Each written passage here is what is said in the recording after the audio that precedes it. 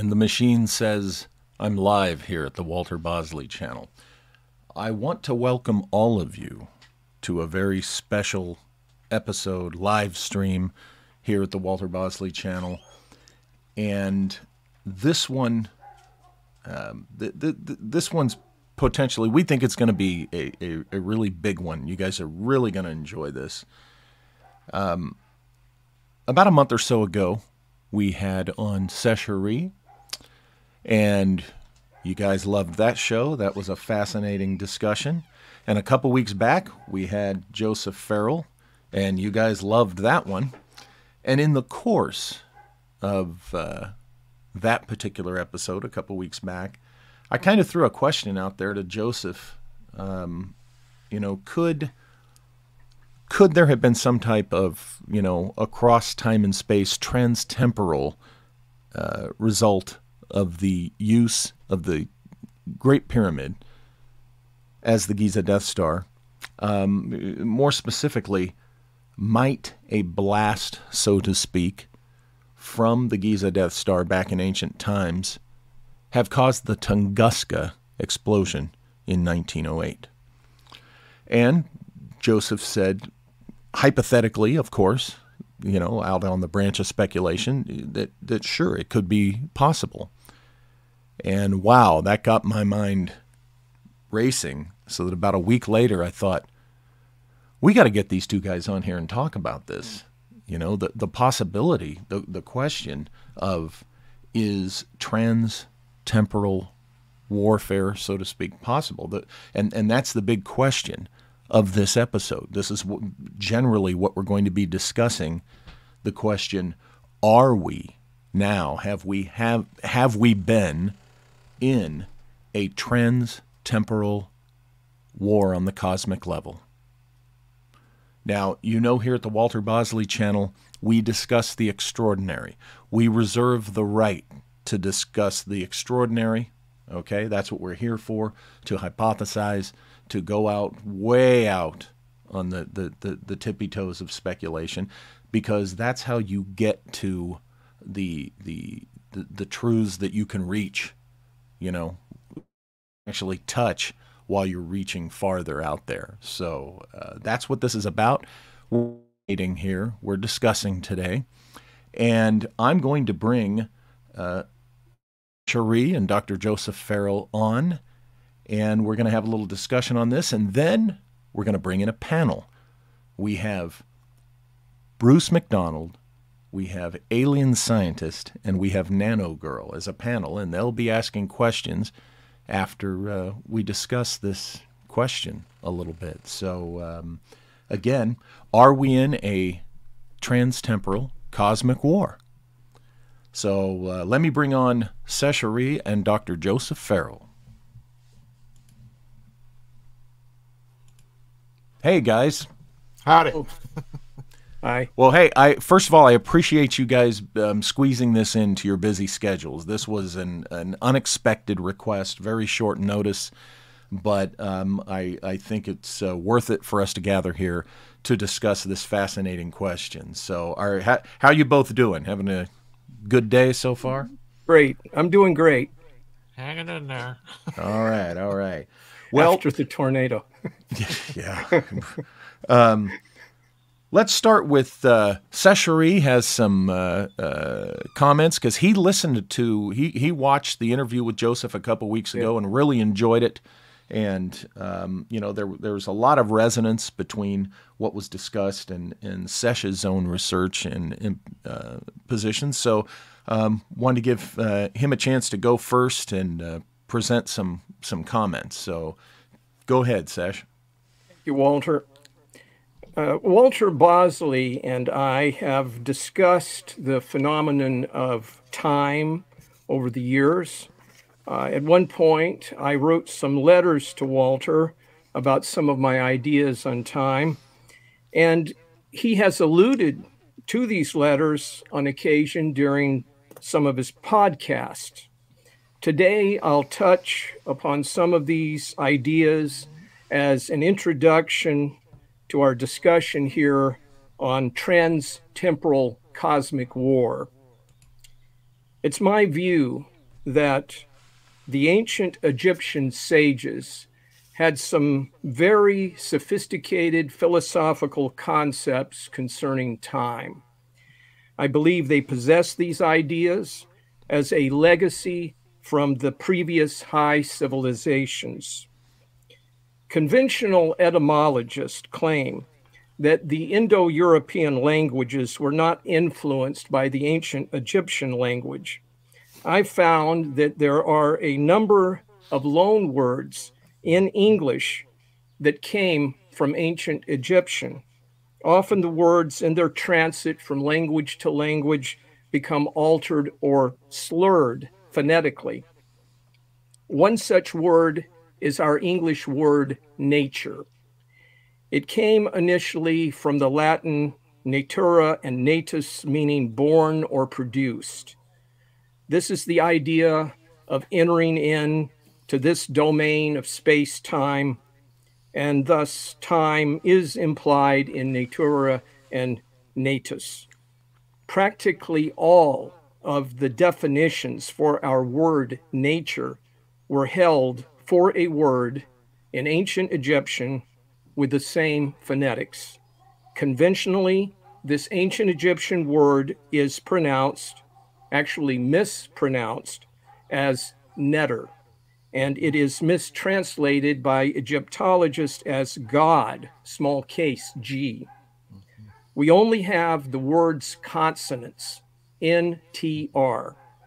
In order to make the word easier to pronounce, Egyptologists of the 19th and 20th centuries inserted E between the consonants, creating the synthetic word netter.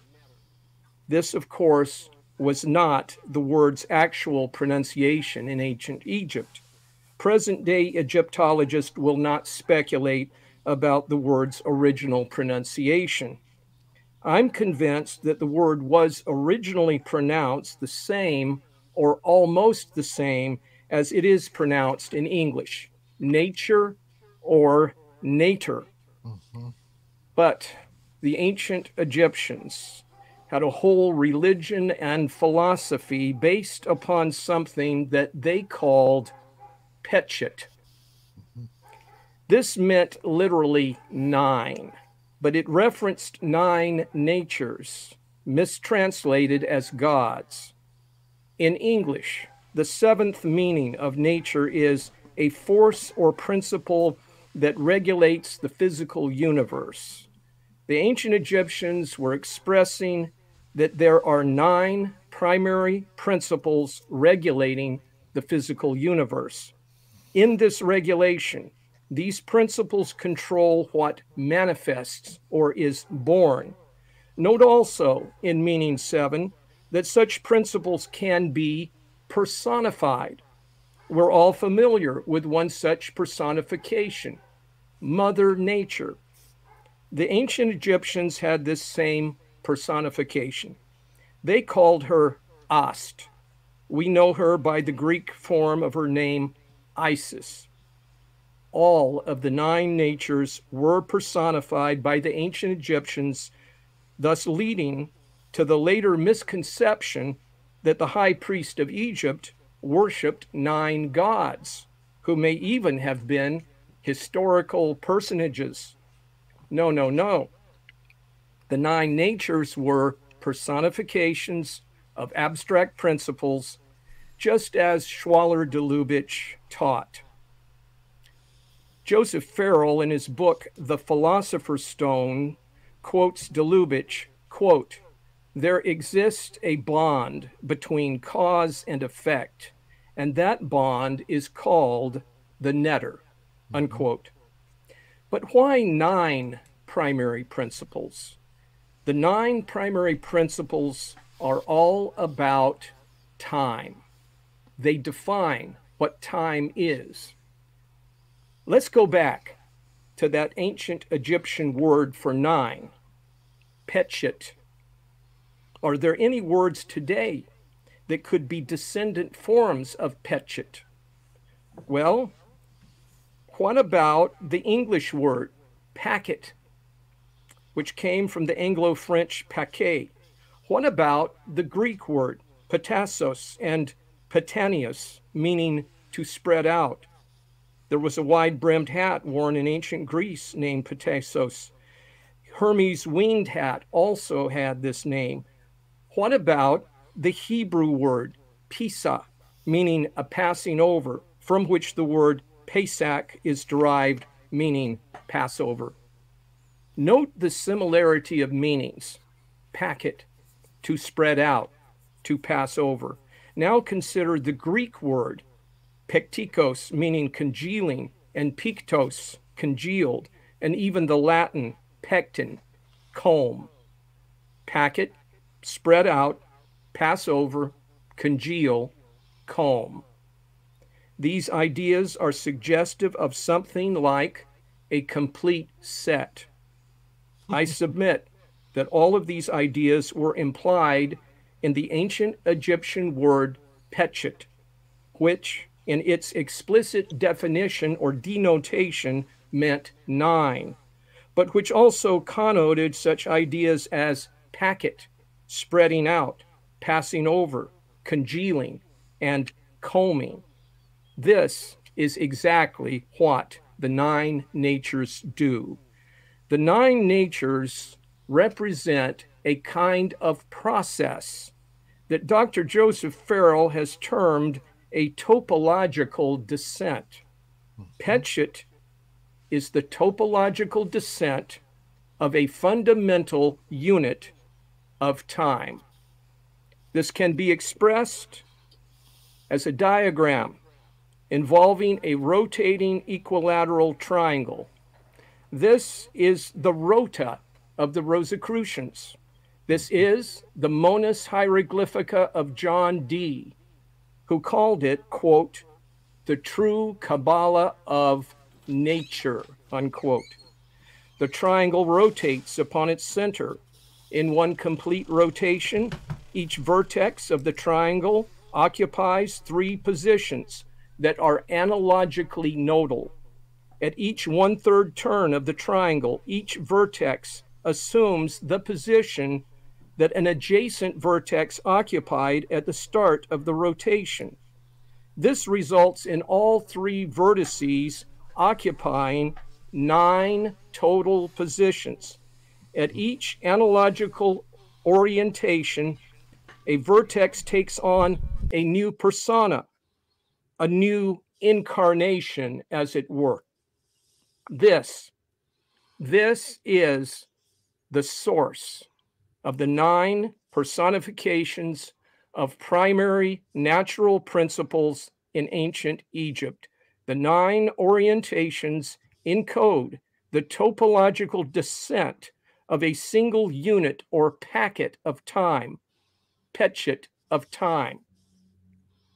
Because of this, the structure of nine underlies all rotating systems, all time systems. All harmonics of time intervals are integrated via the infinite set of all natural numbers that are multiples of nine. Nine is the principle of congealing, integrating causal relationships inhering between karmic frequencies. What do I mean by karmic frequencies? These are the timelines of entities in the physical universe. When an entity is born, when an entity sustains a qualitative change in circumstances, when an entity dies or ceases to exist, these are all determined by temporal nodes along the timeline, combing along the timeline. These are the fundamental topologies of the universe. I strongly suspect that the tablet of destinies referred to in the Babylonian text Enuma Elish were algorithms based upon nine, expressing the karmic frequencies for entities in the physical universe. This passing over, this spreading out, this congealing, this combing is referring to the trans-temporal phenomenon of time perception, the perception of motion following a single vector along a timeline. Time perception is not objective. It is seated in consciousness. Quantum mechanics cannot account for the perception of time, of motion. Motion cannot be perceived in any one instant of time.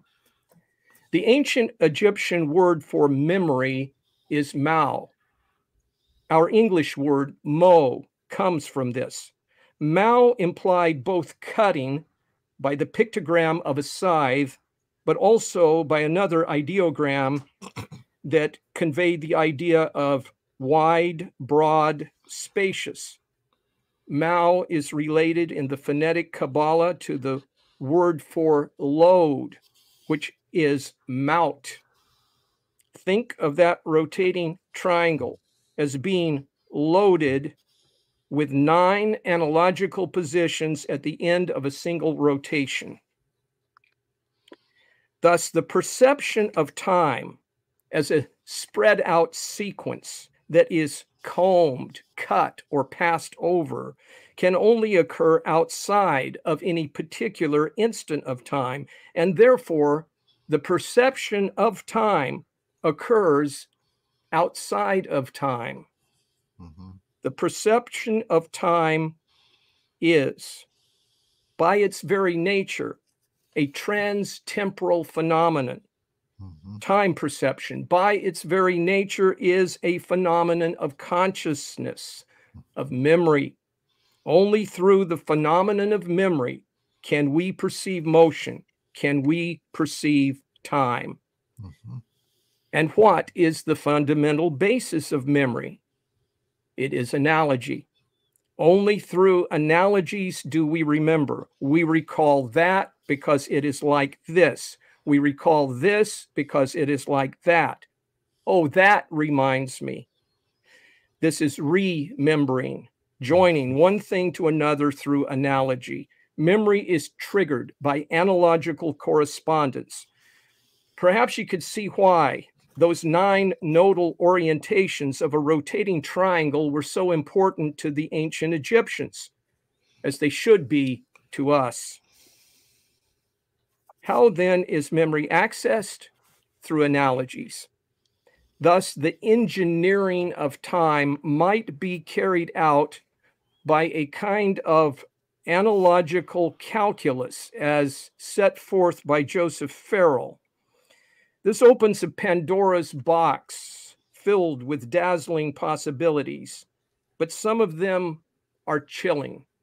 It suggests that time may be, will be, and has been engineered, and among other things, engineered as a weapon.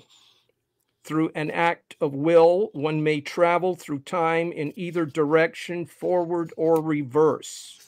We ordinarily travel in a single vector along the timeline because our minds at a deep unconscious level are hypnotically entrained to follow that vector, to pass over time sequences in a particular direction. If the mind's unconscious programming of time is changed, the direction of time's arrow will also change that such unconscious programming is in play in our perception of time becomes apparent if we consider the subjectivity of the speed of time's passage. In ordinary consciousness, time seems to pass at a steady pace.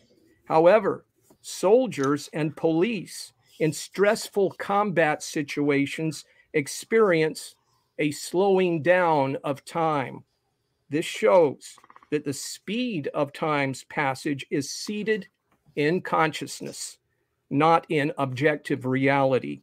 And it strongly suggests that the direction of time's passage along a timeline is also subjectively seated. A reversal of time could be considered as only a continuation of a slowing process past a zero point stasis motion passes into the negative numbers of the timeline. Motion, time, becomes reversed. This suggests that time is an information system that the consciousness can reconfigure at will. Reverse time sequences only seem absurd to us because we are mentally conditioned to view time in only one direction. Beings mentally entrained to perceive reverse time might have a bilateral reversal of their internal organs, just as the Russian scientist Kozyrev speculated, but they also might literally have eyes in the back of their heads. Such beings would have a memory of the future, but scant knowledge of the past. To them, this would be the normal state of affairs. All this raises questions about our contemporary views of causality, especially as held by present day quantum mechanics. A better understanding of causality may integrate transtemporal relations in the schema of cause and effect. When the multiverse is considered, time observations may be made in reverse or in out of sequence orders.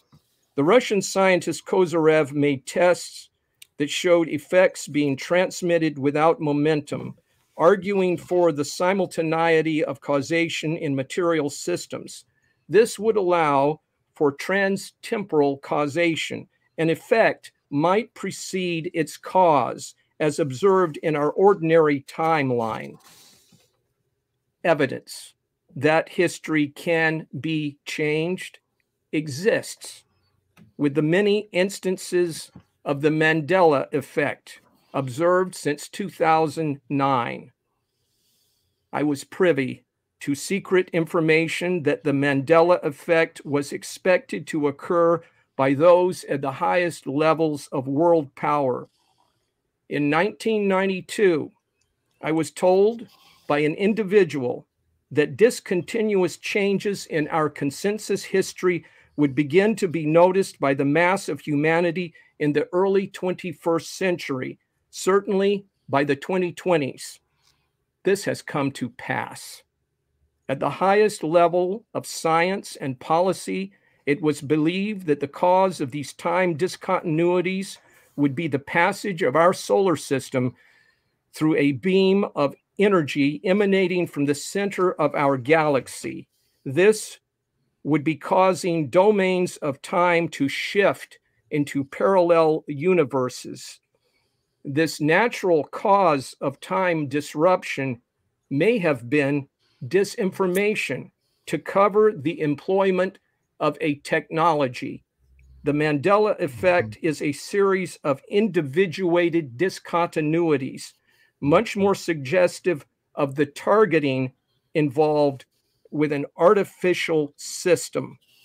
In this period of time that we live in, we might expect more people to be experiencing spatio-temporal discontinuities shifts into parallel realities, teleportations across the landscape, and even literal travel into the past.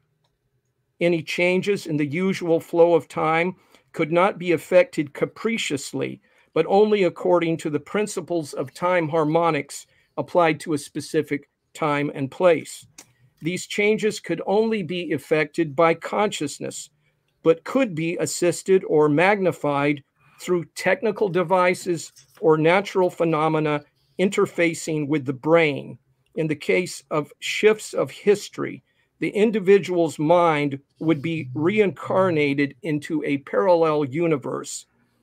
Can the universe be navigated transtemporally in any direction?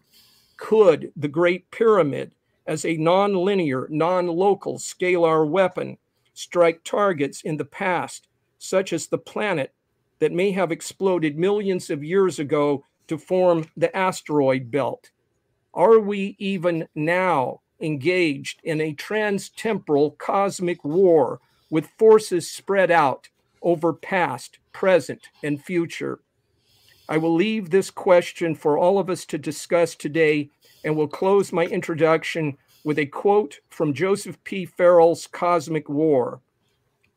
In any case, it seems that Atrahasis is more than a mere epic, for it hints at dark designs and agendas at work in the pantheon, and moreover clearly suggests that mankind, whether in his hybrid form or not, is perhaps both battlefield and prize in a much larger cosmic conflict. Thank you.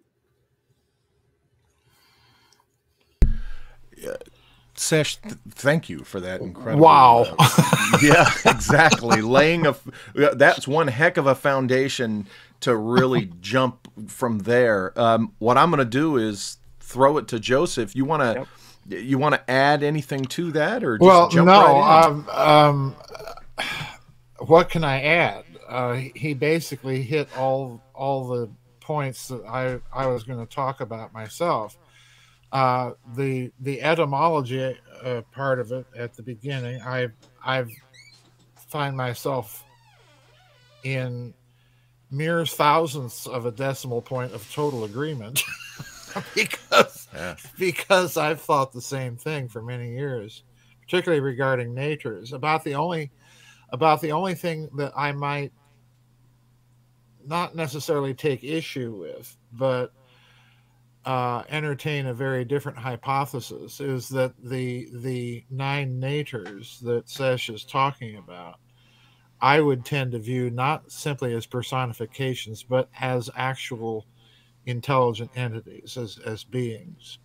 It's very Um, interesting, Joseph. Um, um, I, I'd like to hear more about that. Well, let me put it this way: I don't want to talk about it right now because I'm writing Okay. a book about it. Oh, okay. Um, but Gotcha. suffice suffice it to say that that the nine natures that you're talking about, that that you mentioned, Schwaller de Lubicz is talking about, and so on. yeah. Uh, this has been around for a long time. It's in Plotinus's Enneads, which of course is just the nines. Uh, it's you find it in in Dionysius the Areopagite, the celestial hierarchies, cherubim, seraphim, thrones, principalities dominate. You know the the whole three by three nine natures scheme of his. Uh, so yeah, it it repeats itself over and over. So I, you know, I don't have any difficulty with that. What I zeroed in on in your introduction was two things. Actually, a lot of things, but let's try and narrow it down to two things. You use the phrase time harmonics and analogical correspondences, and then uh, repeatedly use the word set. Yeah. And what we're talking about a, a temporal war. Walter posed the question: Could could the scalar weaponry, the temporal weaponry, be used to go back and destroy something that could interfere with the very weapon itself being built? And that's just another version of the grandfather paradox about time travel that we all know. You know, you travel backward and you shoot your grandfather. Does that kill you? You know, blah blah blah. Mhm. The problem that that this version of dealing with time, and you pointed this out as well, is that it's dealing with time as a delta t function, which is the way it's normally modeled in mathematical physics, a system state change. And that it is therefore impossible in that idea of a vector of time to go back and do something like this. However, I think this approach to time is totally misplaced because I view time, you know, I'm an organist. So let me see if I can draw an analogy for people. I grew up playing pipe organs, so I'm very familiar with the harmonic series. You have to be in order to play a pipe organ. There's just no two ways about it. So you learn very early on that you don't have to tune the instrument to exact equal tempering. This is another thing that people don't get. You know, there's all this nonsense out there about A440. You know? I just, I just, it it really sends me because a harmonic can be within a few decimal points of a particular frequency and still function as a harmonic. So, in other words, you may have your note A tuned to A439.872 and only a very careful ear is going to pick that up as being different from A440. And the resonator, here's the important point the resonator that's producing that frequency will still oscillate to A440 because A440 is close enough to A479 points, you know, on and on we could go.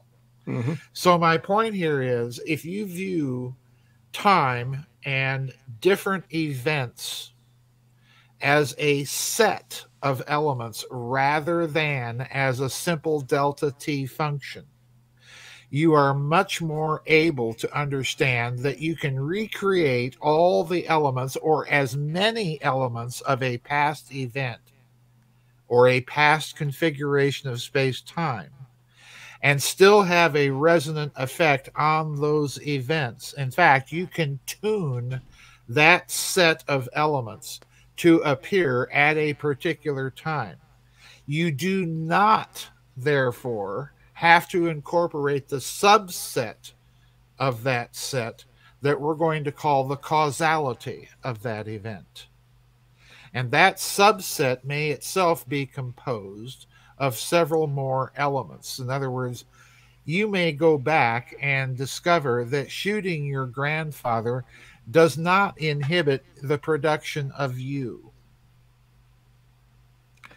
for various reasons that your grandfather is not that kind of effective or efficient cause. So in other words what i'm suggesting here is that if you if you get out of the standard linear classical physics model of time and start dealing with time as a set of elements that can be formally specified that's the key then yeah, it's possible to engineer something to tune to a particular time or place in the future and have it affect the past and vice versa.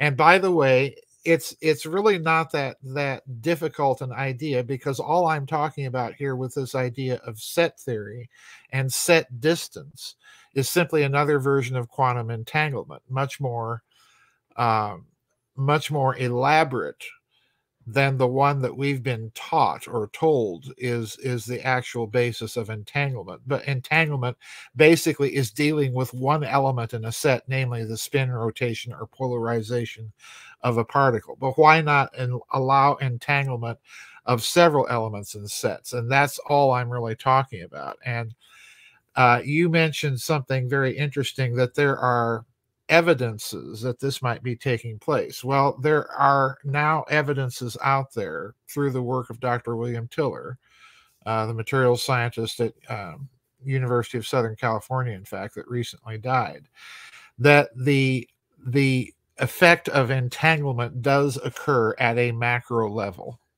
and that it can be directly modified and affected by group conscious intention so this That's is very interesting. Yeah, it is very interesting work because he had people agree on a formally specified intention to alter the pH levels, the acidity levels in certain organisms without any physical contact or any other manipulation whatsoever. And this happened. You know, it's it's a documented occurrence. So I think these things are definitely possible. I don't think that the grandfather paradox is carefully enough stated because we're dealing with a different kind of mathematical model to model what's taking place than is the case in standard physics. So I agree with that. Now, notice that what Sesh is proposing, what we're proposing, with the idea that you can temporally modify by an action in the future an action or state of systems in the past. Notice that what we're proposing is the collapse of special relativity. yes. So, you know, um, take that for whatever it's worth, folks. you know, I'm just tossing that out there.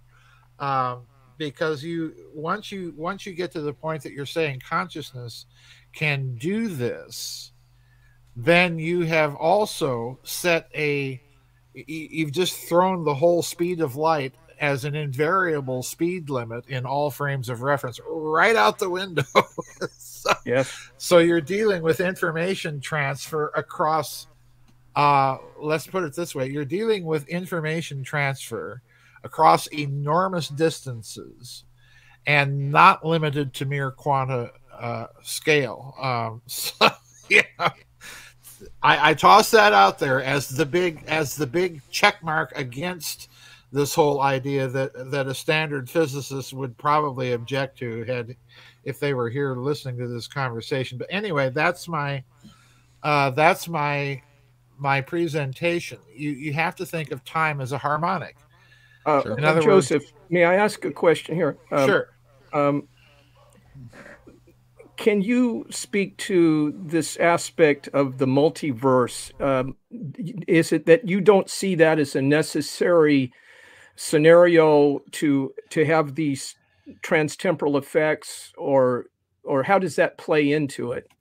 The, the problem, the problem. Well, the multiverse plays into it because if uh, on this kind of set theory, set distance theory, harmonic view, a multiverse could play into it as as a as a set of different overtones. Okay, gotcha. In, in a temporal harmonic series. Yes, but the problem Overtone. with that is that a a standard theoretical physics approach would view the multiverse as being utterly contradictory to what we're talking about.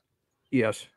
Uh, but what I'm what I'm proposing is is if you are if you are modeling temporal events in terms of set theory and you have a sophisticated enough language to do that in other words to take a certain string of events and model it mathematically we're talking isaac asimov foundation right. sort of stuff here exactly. if you have if you have that kind of mathematical specificity and sophistication then the idea of a multiverse really goes away. What you're dealing with now is a system of overtones and resonances, and those resonance effects ripple out through time.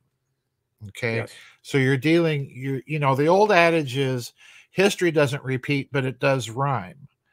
Well, this is going to be the case. You know, the old cyclic view of history is is has a truth in it, in that history does spiral you're going to repeat to certain basic structures of events repeatedly. You know, just think of astronomy. But it's going to be doing so in a, a macro system that is constantly changing and can never reproduce exactly a previous event. And therefore, that's the vector of time. So, You're still preserving it, but you can have feedback loops within it. Now, so that would preclude the possibility, like the Nietzschean eternal return mm-hmm. concept. Uh-huh. Um, w- would would the eternal return be possible? Would it just be a circle of those feedback loops going around in a circle, or is this an open-ended thing where it would just continue on indefinitely? I think I think it's open-ended. Yeah. Mm-hmm. Uh, and the one of the reasons I think it's open-ended is that we're also dealing obviously right now, uh, chin to chin with the question of free choice. Well, the problem, you know, you know me, I'm Eastern Orthodox, so I'm constantly railing on on the piss poor way Western Christian theology tried to frame everything. Well, if you follow St. Augustine of Hippo, he has a four stage program for human freedom. Posse hmm. That's the Garden of Eden. It's possible to sin. After that, it's non posse non peccare, not possible not to sin. okay. Then we get to Christianity, and then it becomes posse peccare, uh, posse non peccare, possible not to sin. And then we get to heaven where it's non posse peccare, where it's not possible to sin.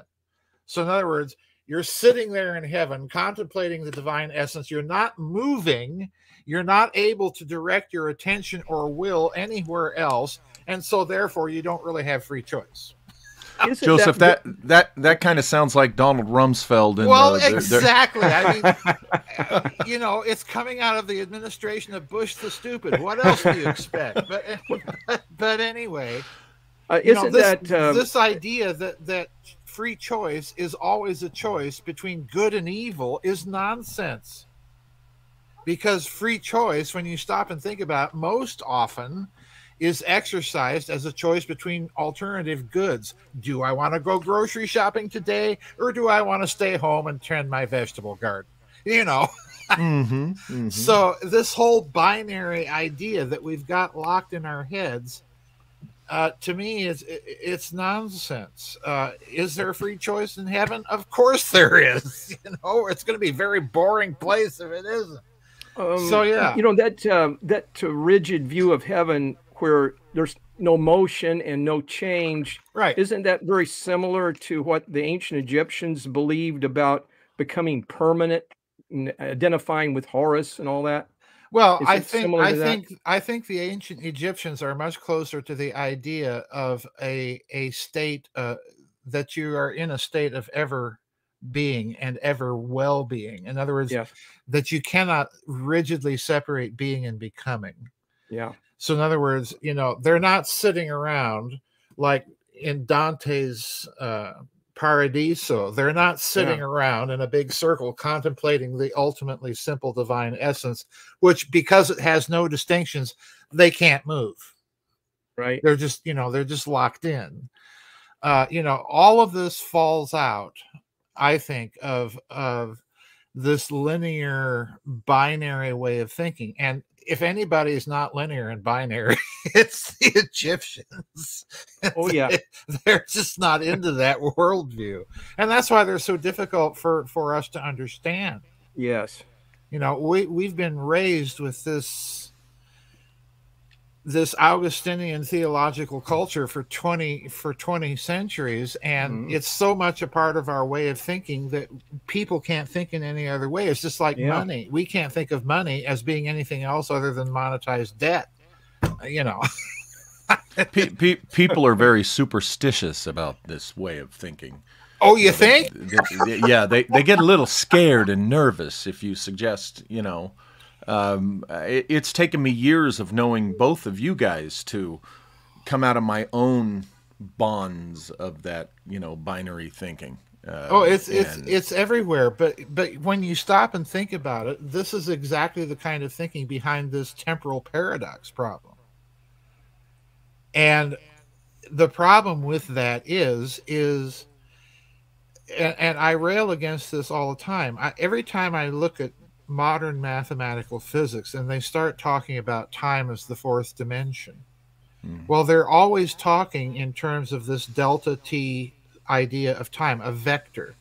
We're moving from here, from this point to that point, and there's nothing else. well, you know, since since when have since when has that kind of geometry been the be all and end all of geometry? We we grew up with Euclid. Every one of us listening to this broadcast right now can not only think in terms of lines, we can think in terms of planes and cubes, you know, and some of us hypercubes, you know, on and on it goes. So why should time be any different? Why should time be a mere scalar? Right. Um, you know, we, we, we have been talking about, and we will continue to talk about the, uh, you know, I, I went to journalism school and then I became a professional investigator after that. So the five W's are a very, you know, the, the first go to tool in, in my line of work. And the three, what, where, and when, we have discussed and we will continue to discuss mostly. Ultimately, um, you know, we have to come, we, we have to go back to the who and we have to come to the why. And do either one of you have, uh, you know, well, I know you have ideas, but let's hear your ideas on the who and the why a, of a transtemporal cosmic war. Sesh? Oh wow. I think I want to defer to Joseph on that. Um, I think he'd have much more interesting things to say than I would, but I'll I'll listen to him, and then if I have some little thought, I'll pipe in my two cents. Well, I think I think the Who is basically good old fashioned Lucifer, but here's why. Um, if you look at at the way traditional theology attempts to rationalize that particular being, whether you call him Lucifer or you know Shiva or Iblis or what have you, the idea that there is a an evil personal being of tremendous power. Well, if you look at the at the traditional theology of Lucifer, and I hope people really latch onto this. This is all important. Traditional theology would tell you that Lucifer has a his personhood itself is set in diametric opposition to his own nature. I hope you latch on to that because it means that he remains by nature a good creature, but that everything that he does and thinks is directed against himself and what he is in an absolute hatred of it. And this simultaneously means that ultimately he's irrational. And he's locked into that. And the reason he's locked in is also very interesting. Sesh mentioned a, a trans temporal experience of time. In other words, you have to have some part of you that exists absolutely outside of time in order even to be able to perceive a change in the system state that we call time. In Lucifer's case, and I'm going to borrow from Aquinas here when Aquinas says that the angels make a choice because they are outside that arrow or vector of time, any vector, past to future, future to past, what have you. Because of that, at the very instant they make a choice, they also form a habit of will. Our choices form a habit of will over several ex- exercises or exertions of that will. And that's how our habit is formed. It's formed temporally. An angel's habit is formed non temporally. And therefore, once Lucifer makes a choice of revolt, that becomes his habit of will at the same time as that choice is made. So now you're locked into a system and into a cosmos, quite literally, where you have karma, where you have these cycles of repetition, and on and on it goes. Ultimately, that cycle has to be broken, totally broken, for things to be fixed.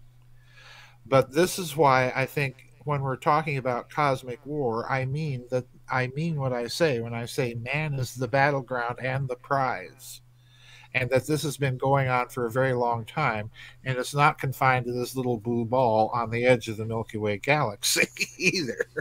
Uh, right. it, it's it's a massive struggle. Oh. We see evidence of it everywhere.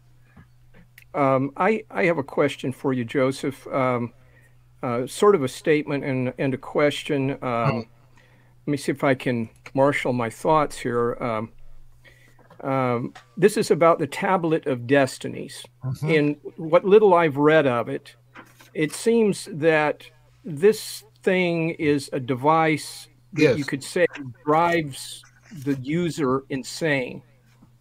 Am I mistaken in that? No, I think I think that's I think that's uh, a very valid insight. Uh, in my view, I mean, this I'm, I'm relating that to what you've just said about Lucifer and about uh, uh, how choices are made by various entities in the universe. You know, uh, that uh, it's almost like this information that the user has as a human being, or as perhaps these weren't human beings, uh, Marduk and Nergal. Right. They were some kind of some kind of incarnated physical beings, though it seems to me, yeah. the way it's described, and that those kind of beings aren't really capable of handling that kind of information. That it's such extreme power? Uh, I think it's such extreme power, but um, I don't necessarily think that the it's the extremity of the power that is corrupting here. The corruption comes from the intention of the will. Mm-hmm. Now, I don't I don't doubt for a moment that having those things around, the tablets of destinies around, would not exert a corrupting influence. Because I do think that there is some sort of of I don't know how else to put it, a topology of intention that can literally embed itself in a physical object or a constellation of physical objects in a particular form or fashion. A kind of memory. A kind of memory, a kind of psychotronics, a kind mm-hmm. of amulet, whatever you want to call it.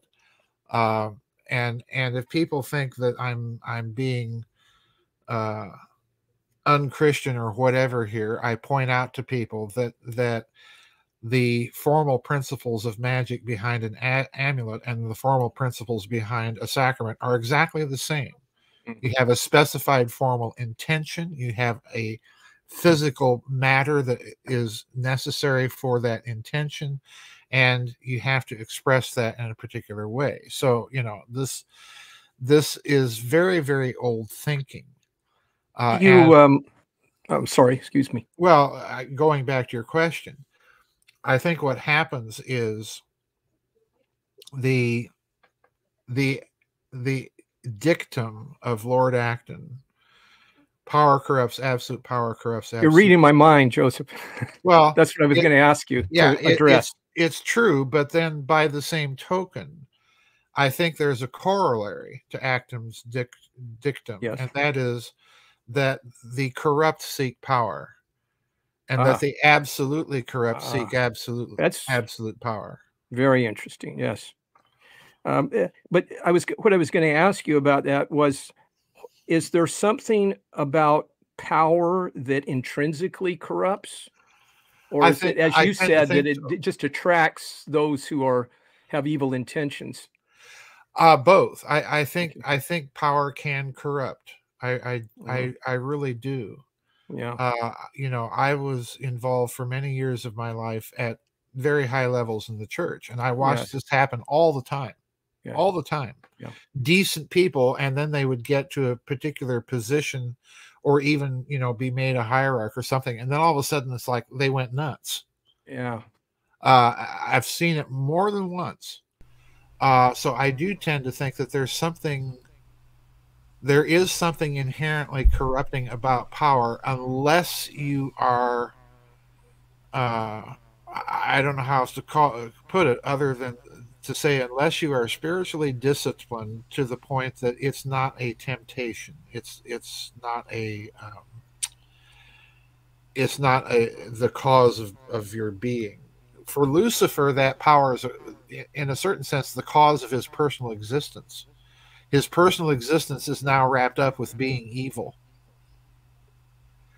And to lose that, he loses his identity. I want to get back to Lucifer again, get get you back on that track. But um, I had a, an, a, a thought here that I'd like to present to you for you to comment on, um, and this is about all of the ancient text. It's not just the Babylonian, but the Vedic and I have to say, even the Hebrew text, they've mm-hmm. been problematic for me. Mm-hmm. Uh, they seem to exhibit elements of profundity and absurdity side by side. Mm-hmm. The gods, though they're living for thousands of years, possessing super advanced technology, often display infantile and primitive behaviors. Mm-hmm. You know, in the Babylonian epic Enuma Elish, Marduk mm-hmm. and Nergal are psychotic. mm-hmm. um, you know, uh, Nergal wants the tablet of destinies. He wants humanity, but why? The gods have this super advanced technology, but they're doing exhausting manual labor. So mm-hmm. they have to make man as a slave. Mm-hmm. This makes no sense whatsoever to me. Uh, you know, even we humans with primitive technology have made slavery obsolete with the limited machinery that we do have. So it, mm-hmm. it seems to me that all this uh, talk about labor in these texts must be either a metaphor or a or even a confused idea about what had really happened. I get the feeling these ancient texts are mm-hmm. the work of a cargo cult and they just don't yeah. what hell's going on. They're trying to explain it. Well I, I i i see the difficulty and it is a difficulty. And the difficulty comes from taking the texts as they are. Yeah. Uh there's in other words there's no there's no corresponding documentary hypothesis for babylonian texts. There's no there's no jepd theory of the Atrahasis epic or the Enuma Elish. And if people are wondering what I'm talking about, that is the principal theory that scholars to this day think is behind the, the first five books of the Bible, the five books of Moses. They they think that there are four different sources. And that here comes the clincher, and that those sources can be reconstructed from the text. Now, I think that's all a bunch of horse hockey this idea that you can reconstruct it. I don't think that's possible. Are there sources? Probably. Are there sources behind the Babylonian text? And ultimately, we get a war, and then we get nonsensical explanations like, well, we need to make mankind to go mine our gold because we're too lazy to do it. And then that's we're going to, and that's a hard one. And then we're going to wipe him out because he's making too much noise. That's literally that's literally what's going on in in some of these Babylonian epics. And you're thinking, what? it, it, reminds me of somebody like just take an old farmer who's completely yes. illiterate, doesn't understand anything, yep. and something happens over there, and he yep. says, "Well, you know, they're uh, they're making too much noise. That's why they had to do it." You know, it's yeah. just sort of a folk explanation. Of- yeah, I, this is exactly what I think is going on. We have to remember, and this has always been my my my caveat with this. When we're dealing with these texts we are dealing with texts of a legacy civilization trying to pass down stories or and relate stories that they heard from grandma and grandpa and that grandma and grandpa heard from their grandma and grandpa and so on and so forth. And to me the core of the story is the attempt to preserve as as much as they could in the language that they knew of, of this technology. And then they get nonsensical explanations for the motivations of these people. However, that said, there's another caveat. Look at our own modern technocrats and look at their look at what they want to do they are so abysmally secure and confident in their power and their technology and their forecasting tools and so on that they literally want to get rid of most of the population of the globe. Yes. So nothing really has changed. The modern technocrat is nothing but the Babylonian god out to wipe out mankind because he's making too much noise. you know, or in our case, we've got too much cow flatulence. You know, it's just oh, it's yeah. just nonsense. Yeah. So, uh, with um, I, I, think a tag on to the discussion of the who. Sesh, did you have any comments in response to that before I well, jump us to um, another? I, I, find it very interesting, all of this, um, and I agree with what Joseph's saying. Um, I, I do have some thoughts that maybe I don't want to voice right now about those technocrats that Joseph's talking about. So I think I'll just edit that part out. You know, I'm holding back too.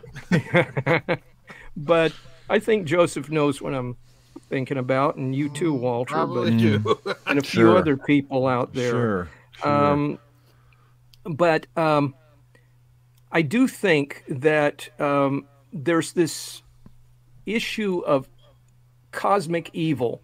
Yes. It's in all the world's religions. Yes. Uh, and um, and I, you know, I could say I believe, but I would say the evidence shows that it's real. Right. And that th- this is the explanation of history.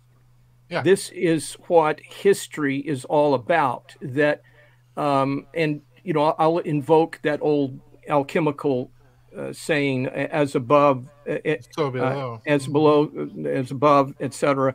Um, that what's going on here on Earth is an analog or a model for what's going on cosmically throughout the whole universe. Uh, this is part of what I'm thinking about when we talk about trans-temporal cosmic war. Mm-hmm. That um, and you talk about the um, the unification of intention. What is the phrase you use? Um, unified intention of symbol. Symbol. Yes, um, that that's a very powerful intellectual tool there. The unified intention of symbol um, because I think that's the way you would approach this major issue of history. Uh, that if you're wondering about what was going on in those ancient times, you can get a model of it, just as you're talking about the bureaucrats now, you get a model of it and an insight of right. what it's all about. It's not a big mystery, really. It's not know? a big mystery, and and you know the old adage is human nature has not really changed all that much. Yeah, and it really hasn't. You know, we're we're still we've we've got bigger and more sophisticated toys, but basically we still you know think to do the same thing with the toys. Now, there's something. I'm going to be. I'm writing a nonfiction book myself right now. In fact, I've written it, but I'm going to be going back over it and putting new things in and I'm sure both of you know what I'm talking about.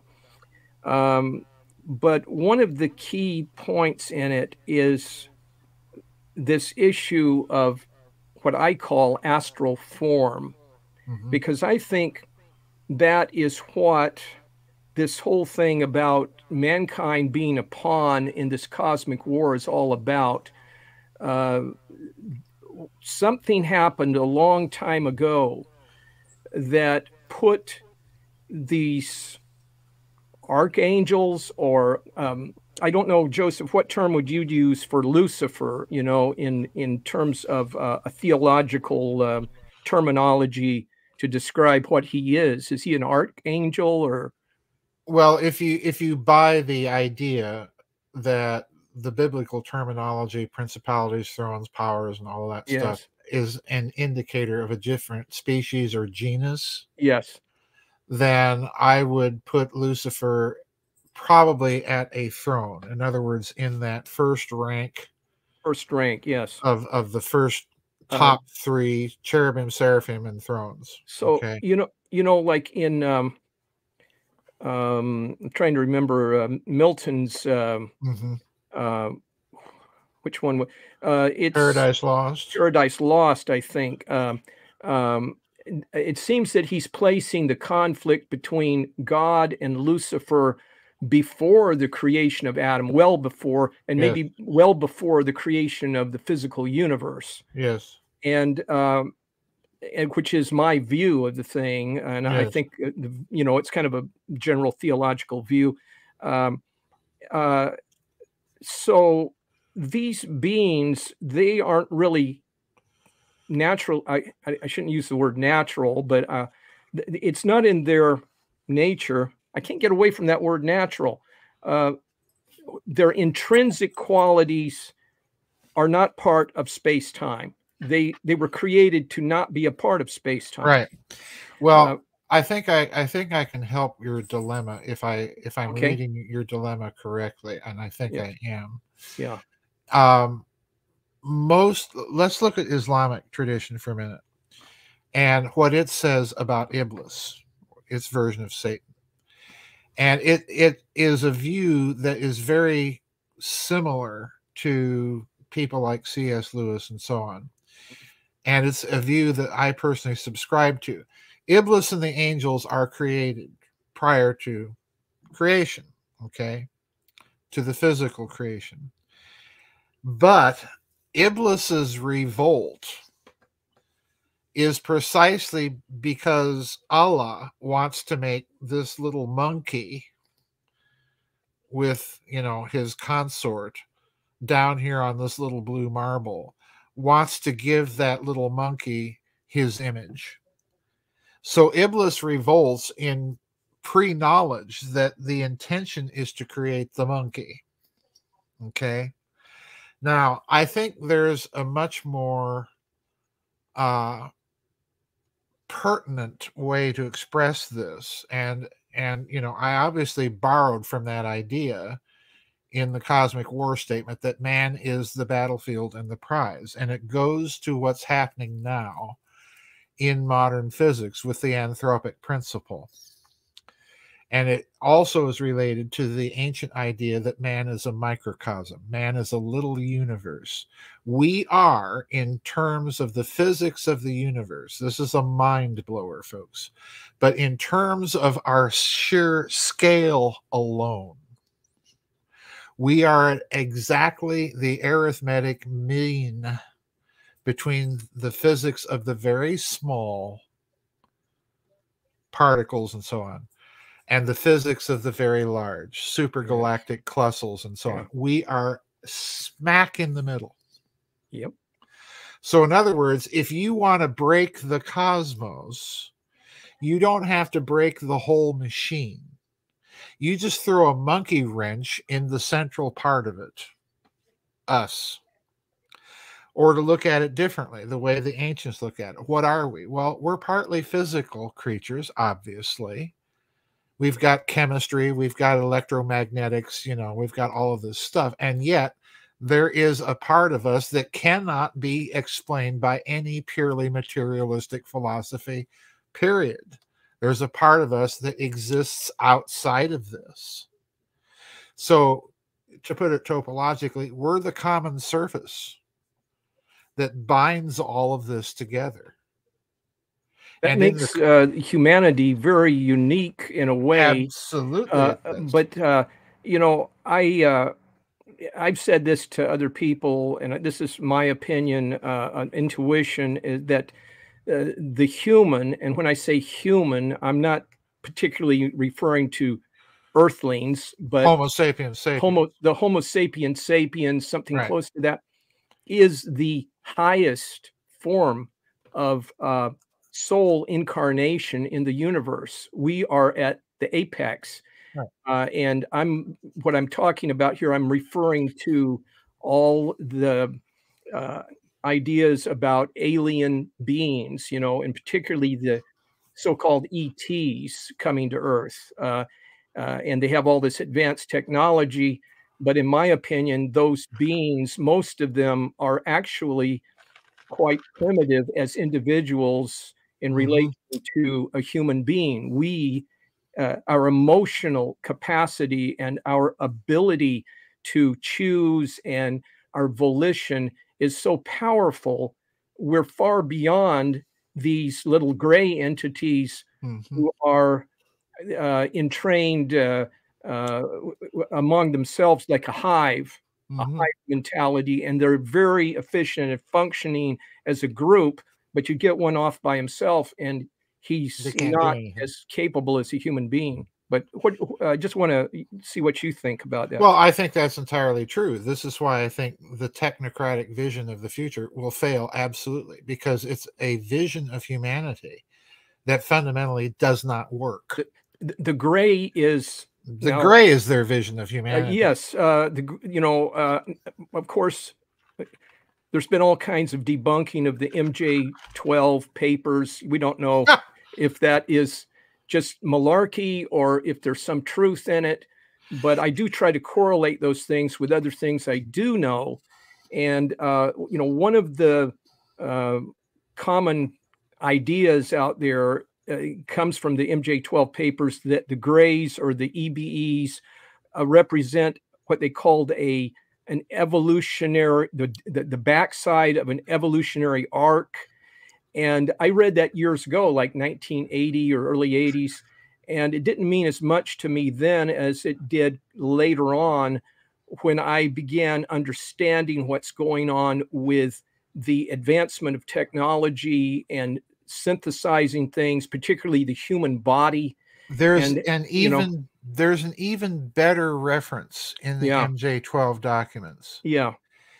And that is, and it's a very short, I mean, it's no longer than a few words, but it is loaded with significance. And that is the observation that they made, allegedly viewing these alien bodies, they made the observation that they may have to consider that the humanoid form is of a higher order biology than had previously been suspected. In other words, they're invoking Yes. a topological metaphor Yes. to Mhm, explain what they've encountered. mhm. Okay. And I think I think this goes directly to what we've talked about before with with the ancient texts and all of these stories, be it from the Bible, be it from the Enuma Elish or the Atrahasis or Epic of Ninurta or wherever we encounter ancient texts, the, the Popol Vuh with the Maya for that Mhm. matter. mhm. Uh, whenever you encounter these stories of human beings having been engineered into existence by the gods, okay, and I I now have come to the position that I think I know what they're talking about.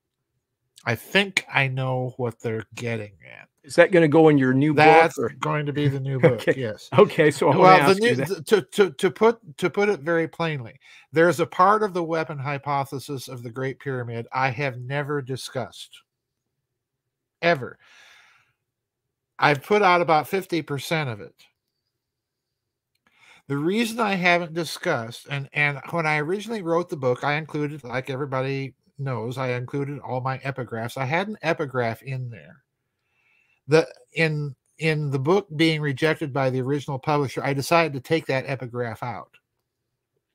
So I've never published the epigraph until now with the fourth pyramid book. I just want to see what people are going to do with it because now there's enough information out there to back up the epigraph and and to to create a basis of speculation for the implications of the epigraph. Okay?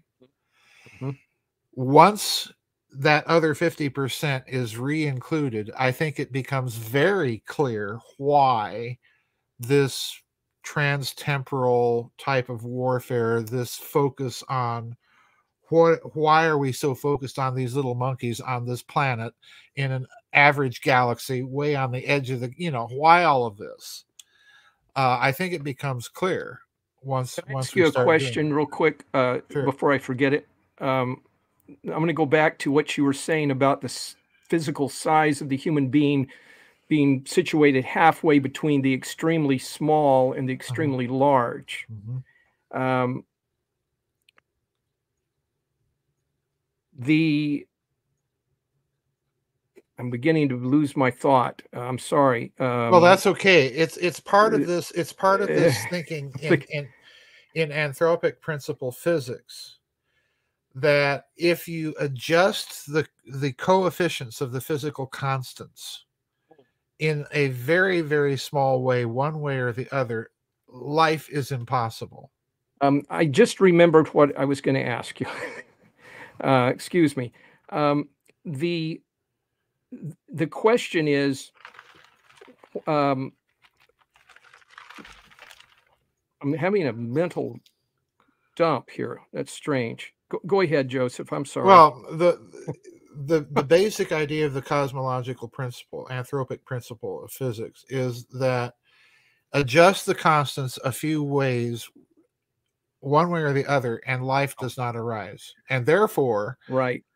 intelligent life can arise. And if if the universe is observer dependent, Yes. then we're necessary to the proper functioning of the universe. Right. Now, I agree with that.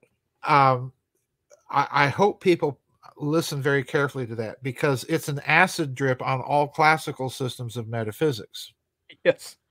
uh, no matter what they are monotheism, polytheism, panentheism, pantheism. You know, all of them fall by the wayside because none of them are able to capture the subtlety of what the physics is saying.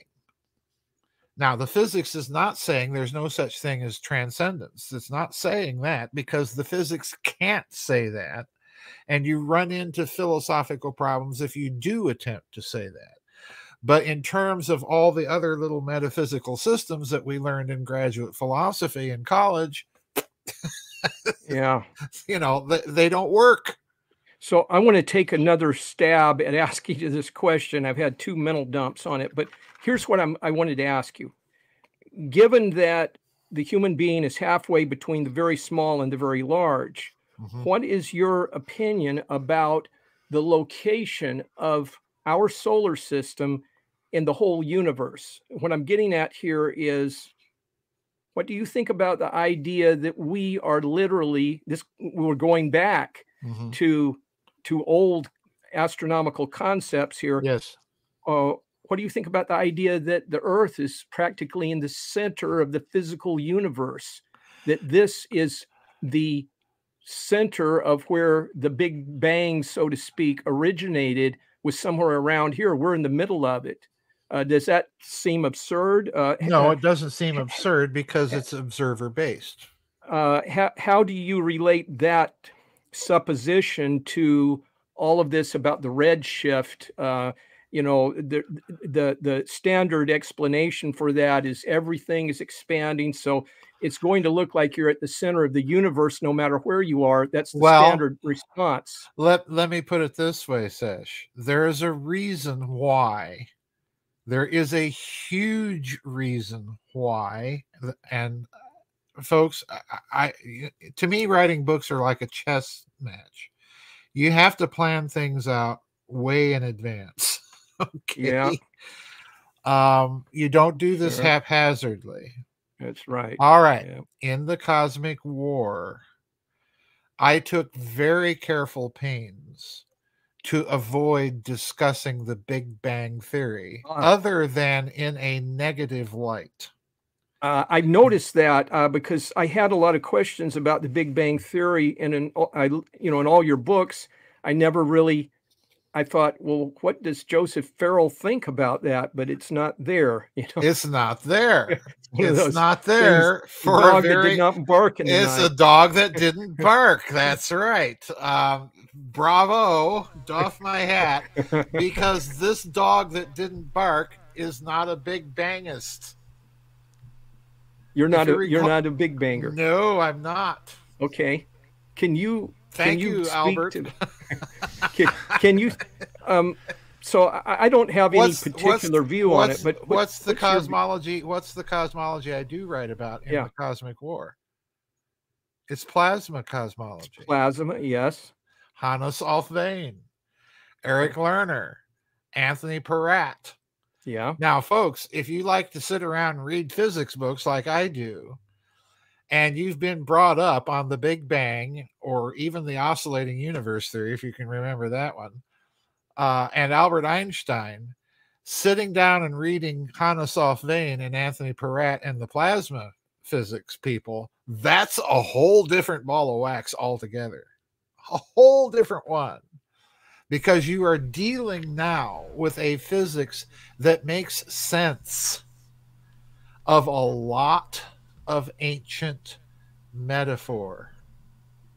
And I go no further than that because I don't want to give away the new book. All right. Well, let me ask you a question about this. It's been my thought that the Big Bang Theory actually evolved out of the Kabbalah and mm-hmm. the, the Ein Sof and all mm-hmm. that. You know, mm-hmm. um, would you agree with that? Or I would What do you think? agree. I would agree to the extent that that these systems are talking about a a beginning yeah, of existence that is both within and outside of time at the same Yeah. time. Okay. Now, Yeah. the other thing that that those systems are also doing is they they are telling you that you cannot pinpoint where that happens. There's no where yet. I, There's no where. So you have to you you have to work backwards from existence itself. But the problem there is once you work backwards, you run into something. And that's the idea of entanglement and that first singularity. yes. What if that singularity itself is an example of entanglement?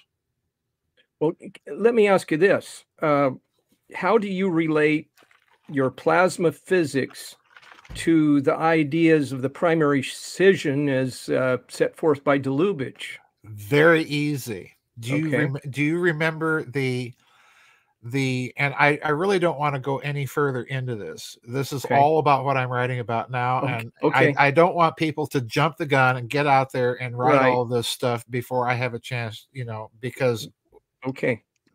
the people that are the gun jumpers are already screwing things up. Yeah.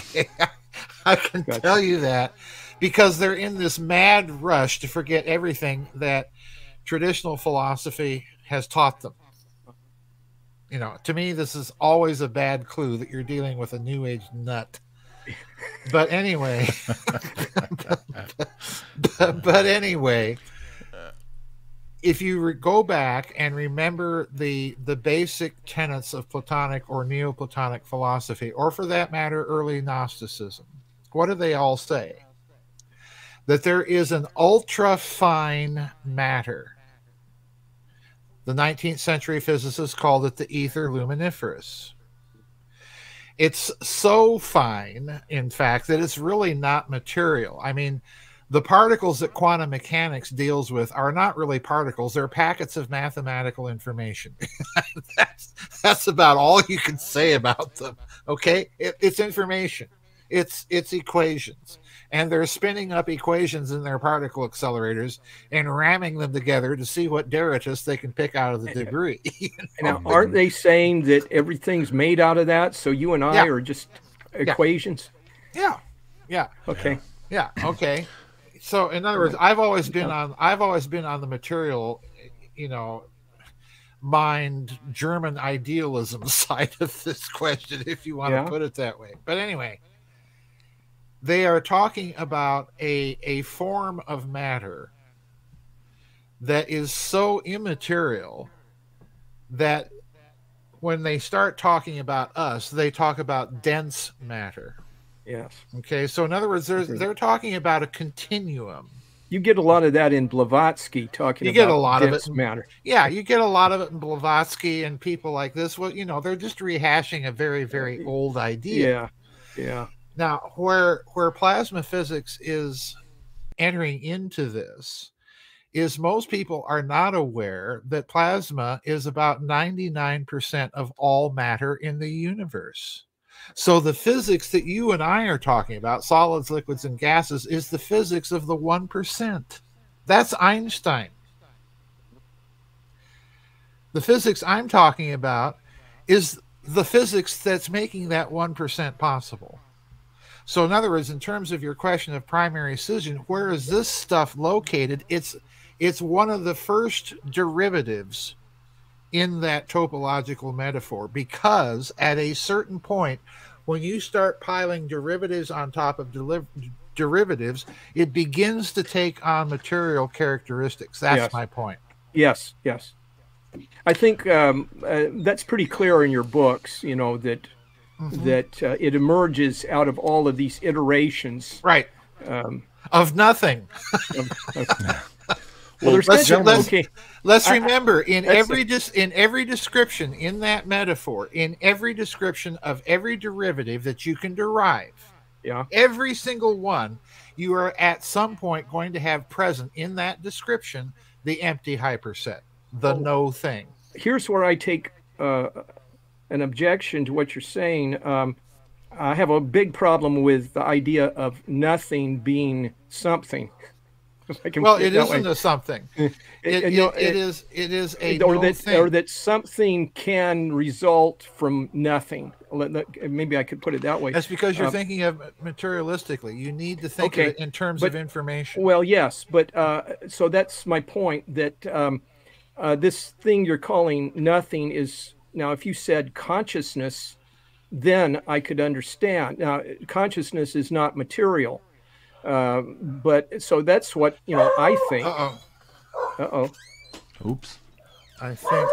Yep. There she my is. canine home security unit just went off. I gotta get the door. So are are you talking? Oh, okay. I'm going to Yeah, uh, be bringing the uh, panel in shortly, okay. but before I do that, I have one final question to ask you Okay. guys prior to the panel. So as soon as Joseph returns, we'll get to that. Go ahead, Sesh. How are we doing on time? We're doing great. We're doing fine. We're at the we're up just about at the uh, 90 minute point. Oh, and really? that's why I want to I want to ask one more question before Okay. we go to the panel. We have a few uh, folks on the panel waiting to uh, ask you guys some questions. So we have Joseph returning.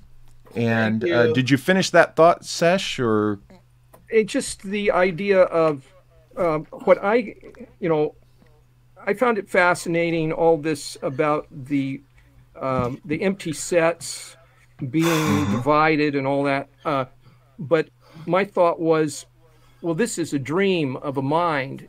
The mind is making these separations, and that I could understand. Uh, it would it would not be a material process, uh, and It isn't. and so ultimately because of that i my view of things is everything is a dream a dream in the mind of god perhaps. Uh, um, what do you say about that joseph? Am i mistaken I have I have no idea? I have I have no objection to it with the proviso that that dream gives real reality and existence to the other dreams going on. oh yes it's a virtual It's- reality It of- is it's a both and situation, not Yeah. an either or. Um, you know, So- the the old the old saying in, in the Apostles' Creed is and I believe in the communion of saints. Well, what is that? yes It's everybody having their dream. It's everybody being Okay. real and making their own choices. yes Well, gentlemen, before we go to the panel, I want to bring them in. But before we do, I want to put this one question to both of you. Okay. Uh, we've discussed the Who in terms of uh, we, we've just really begun to discuss the Who in terms of uh, who you know th- this transtemporal cosmic war, which we will certainly be discussing here at the Walter Bosley channel in future episodes. But uh, the other part of the Who question is, in your opinions, uh, briefly, um, who in our world today, say on the official level, um, do you think is aware of this transtemporal cosmic war that we're Oh, boy. postulating? Well, okay. I think I'll lead with that. I think for, Joseph wants to ruminate on it a bit. Um, not, to, I don't want to step in on you, Joseph. You're You, not. um, I, I alluded to this earlier. Uh, I was told by somebody back in 1992 about the Mandela effect. Of course, they did not call it that at that time. Um, and at the time, I did not believe this individual. Uh, this individual made several claims to me. Uh, that was just one of many. Um, but over the years, you know, since the Mandela effect came about, uh, I reassessed what he told me. Um, I have myself experienced the Mandela effect literally because I am one of those people who do remember uh, Mandela dying in the early 1990s. I don't Same know- here. Okay, so Joseph does. What about you, Walter? Do you remember that? Specifically, not uh, you know Mandela's death, but absolutely as I, as I've discussed with both of you independently, other events certainly. Okay, other events. I remember Helen Thomas dying yeah. during Yeah, during we discussed that during one. Clinton's term in office. The, Yeah. the the big one for me was, and I can't remember whether it was before or after I had the realization about Mandela. Uh, and at the time, let me say, I didn't think anybody else was uh, having this memory.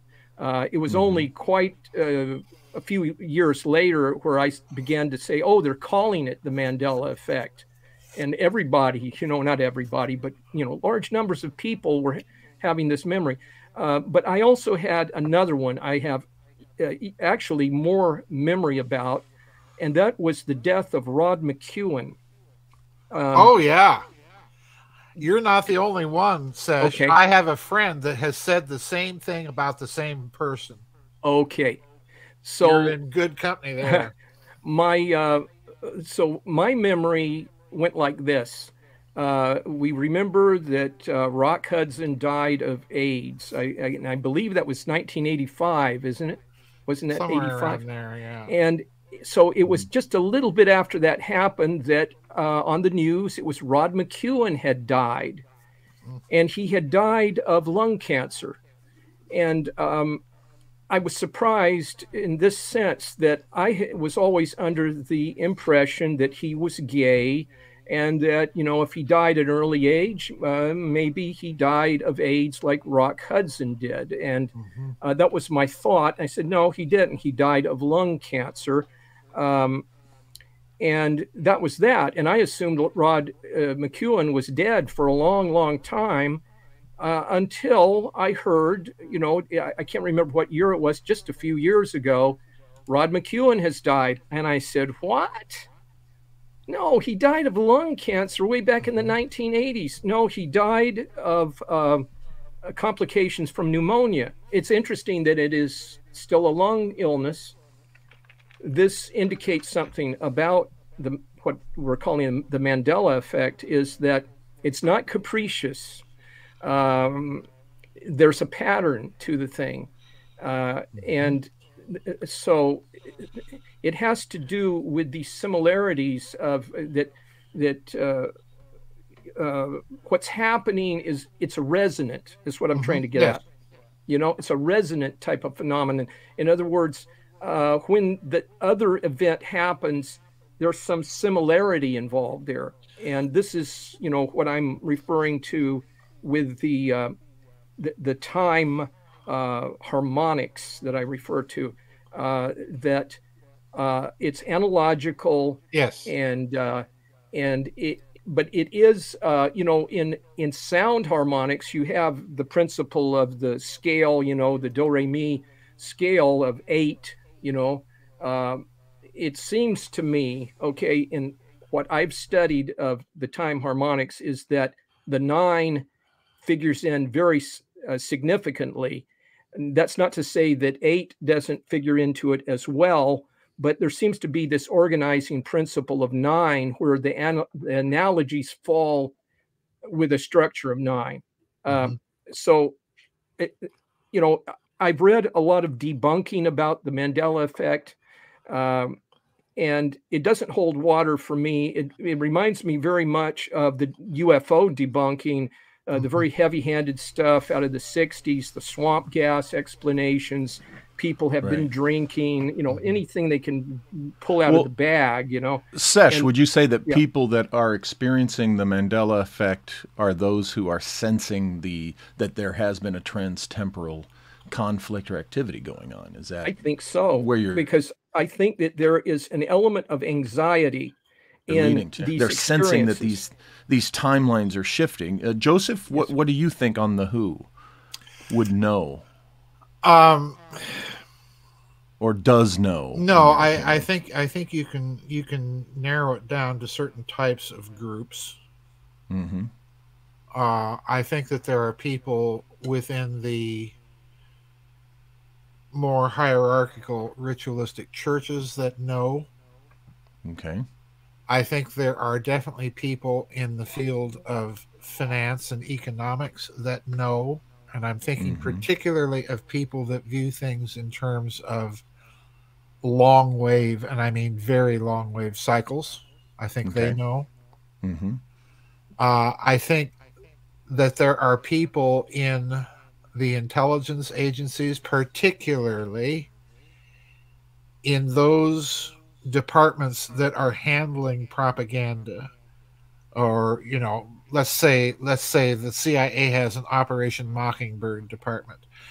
If there's a particular place in that particular agency that I would look for people like that to know something that would be the place.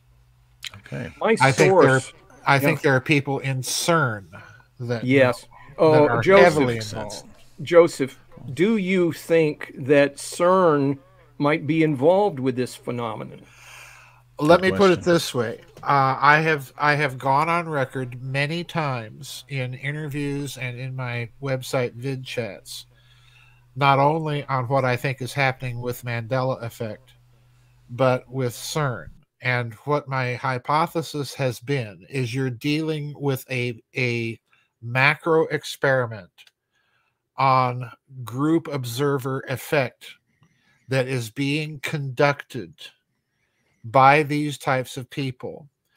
And particularly in cern's case i have i even wrote in my book the third way when i talk about cern I've written that if you are experimenting with an accelerator, that alone, just one little aspect of it, and and it's not the only aspect I'm concerned with, but let's just pick one: the enormous, powerfully localized magnetic fields in that accelerator.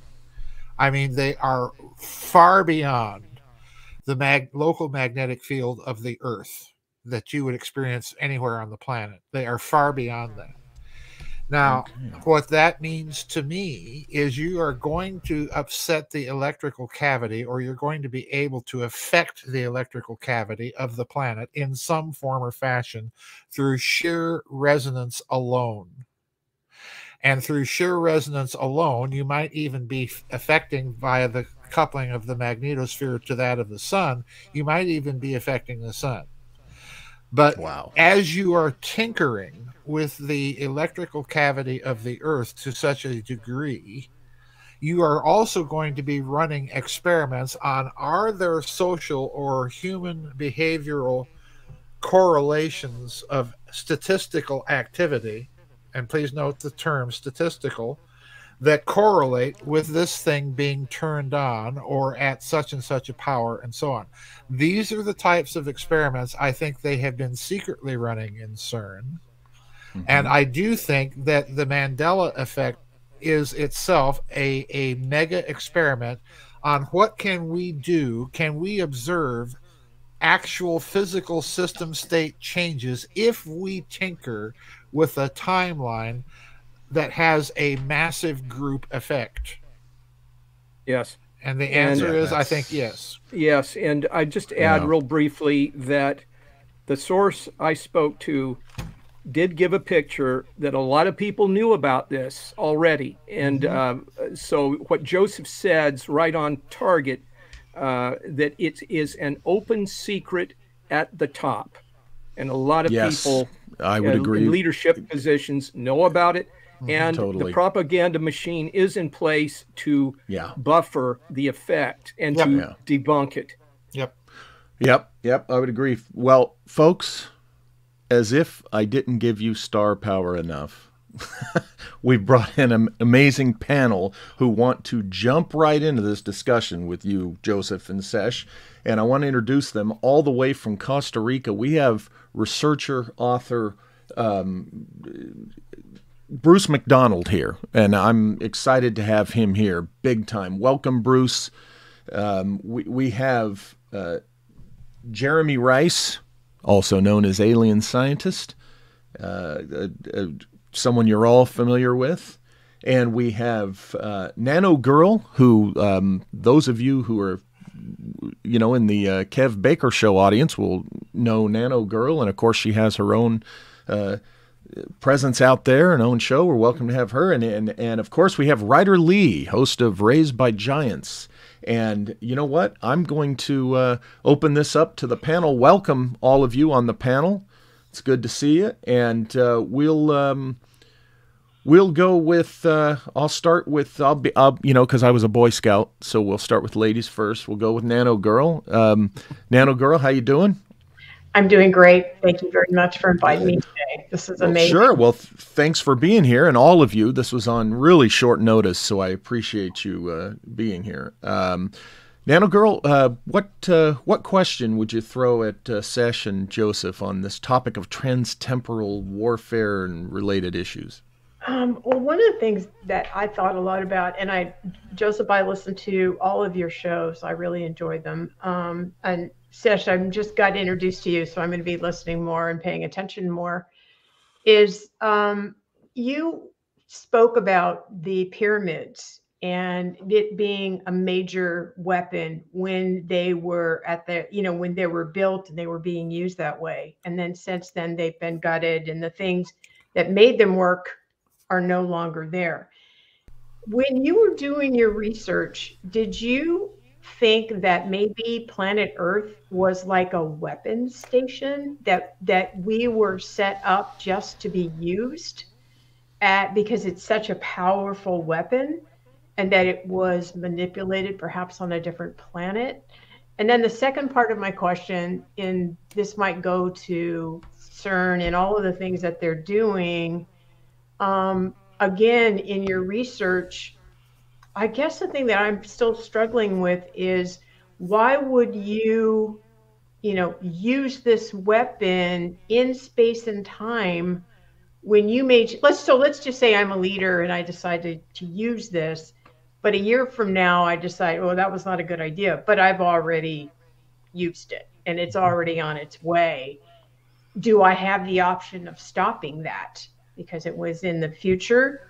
Or you know th- that those kind of implications to me you know i woke up at two o'clock in the morning and i'm thinking well here's the question here's the question. Anyway so mm-hmm. let me throw those out. Well first of all you have to understand that that my weapon hypothesis for the great pyramid first of all it's not my hypothesis. It's actually Zecharia Sitchin's. I'm simply exploring something that i found a fascinating idea that he just kind of tossed out there and forgot about you know uh, he wrote a book about it, but he never really pursued the idea itself. Uh, now you have to understand that that means that I view the Great Pyramid as sui generis. It's it's a one-off. It's it's a it's a structure that is so unique and so very carefully engineered that no other pyramidal structure on the planet comes even remarkably close to it. And there's a lot of other remarkable pyramidal structures out there.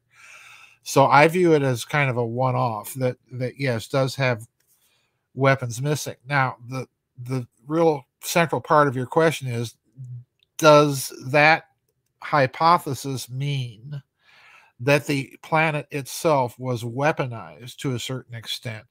And yes, that is exactly the implication.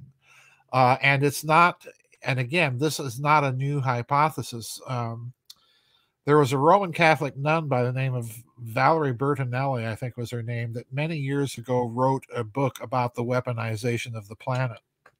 And this was her whole whole thesis that somehow, you know, the, the defense people are so mad that they're trying to weaponize the planet. And that ultimately is what I think is behind climate change. I think climate change is the narrative they've put out to disguise the fact that they have weaponized geophysics and that they've weaponized the weather. So yeah, I I I totally agree with your your hypothesis there. Uh, why use it? Could they could they retract its use?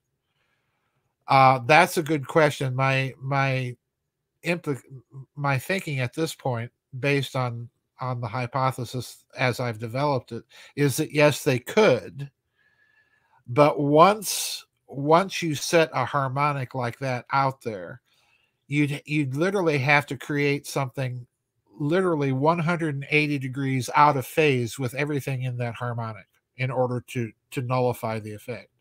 But basically the basic idea is there. It's it's just like jamming a radio signal. You have to you have to have something on the same frequency but completely out of phase. And you know, if that's the case, then you hear nothing. So yeah, it could be done, in my opinion. Yeah, thank you. Mm-hmm.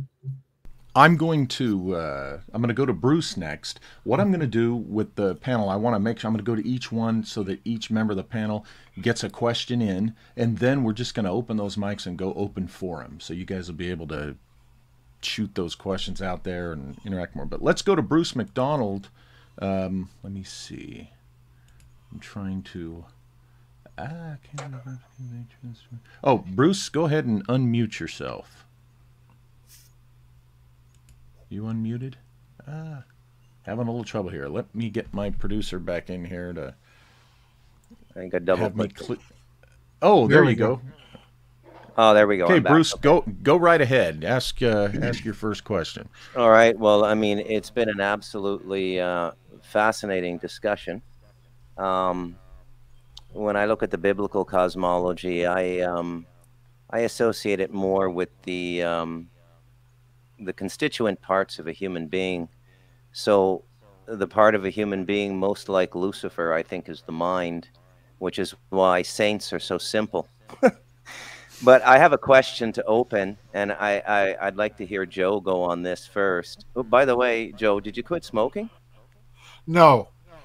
Okay, um, pe- people are under that impression because I'm not chugging cigarettes on camera.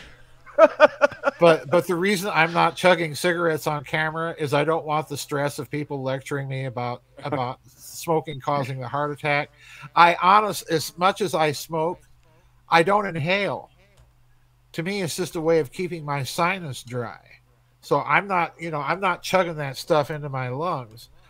But I, I just got so tired of everybody lecturing me about the cigarettes. I, you know, I, I smoke a cigarette, you know, at least at least once a day. Uh, so no, I didn't quit smoking just to let everybody know. Except my cardiologist, who probably will never watch this. okay. Uh. So, yeah, Mike, Mike, what is the significance of the number forty in the Abrahamic scriptures?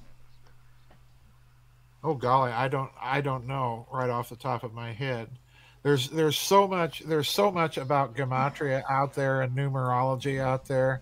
It depends on who you'd ask, but right off the top of my head, I can't pull anything out. Yeah, you've got. What is he asking about in the, in the Abrahamic scriptures? Are you talking about the Old Testament?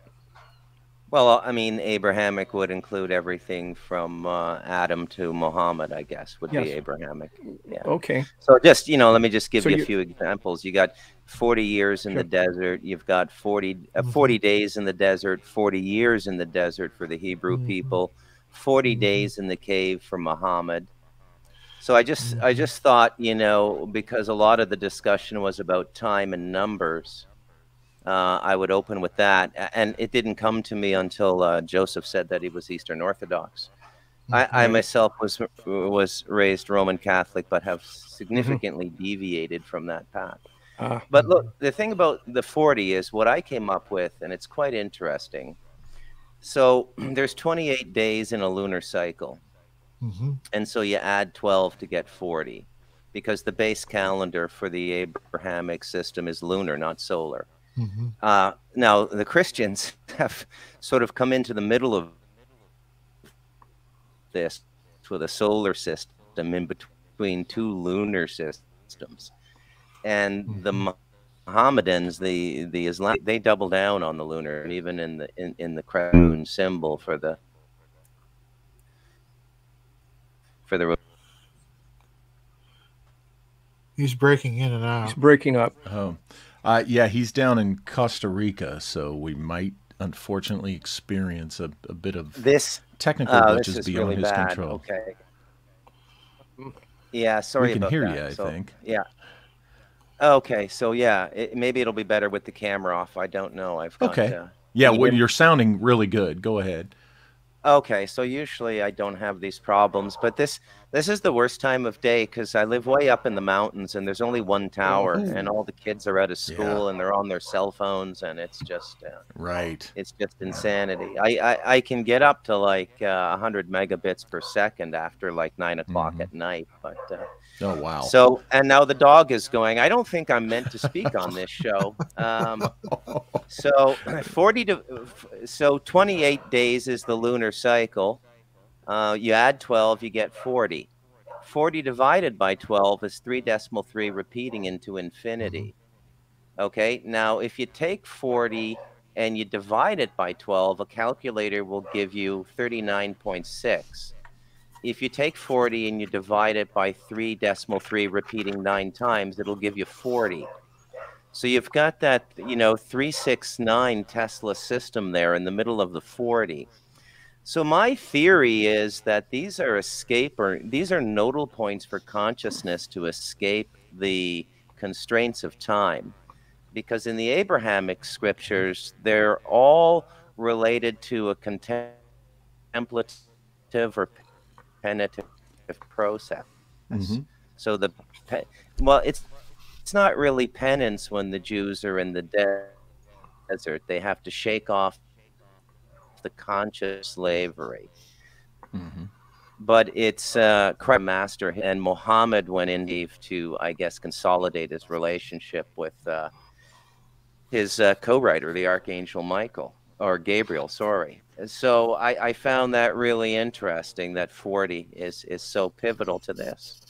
But I think at the end of the day, as as much as I like erudite conversation, as much as the next person, I've chosen the contemplative path. I meditate a couple hours a day and have been doing so for decades. And really, I think the way the creator set it up is you can you can escape it, but you can't pass the secret on to anybody. This is this is the trick of this system we're locked into. Interesting. And um, if you wanted to get my opinion on, and I know we're supposed to be asking questions, but I'm an arrogant bastard, so I'm just going to give my opinions um, why man was created. There's there's more um, than one here, I'm sure.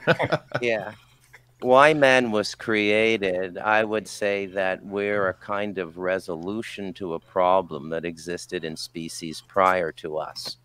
We're kind of like God's ultimate soldier. And we, we actually take on the most negative things in the universe.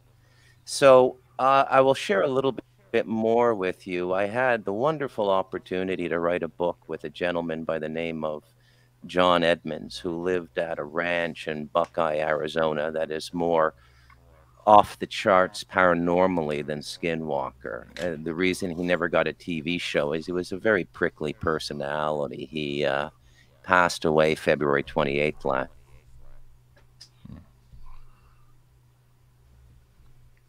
Did we lose you, Bruce? I think we lost him. Okay. Uh, I'll tell you what. I'm going to bring in uh, Jeremy Rys, alien scientist. Let me, uh, Walter, before you do that, yeah. let me put in my two cents here about mm-hmm. Uh, Bruce MacDonald's. Is he coming back on? It looks like. We don't know. Okay.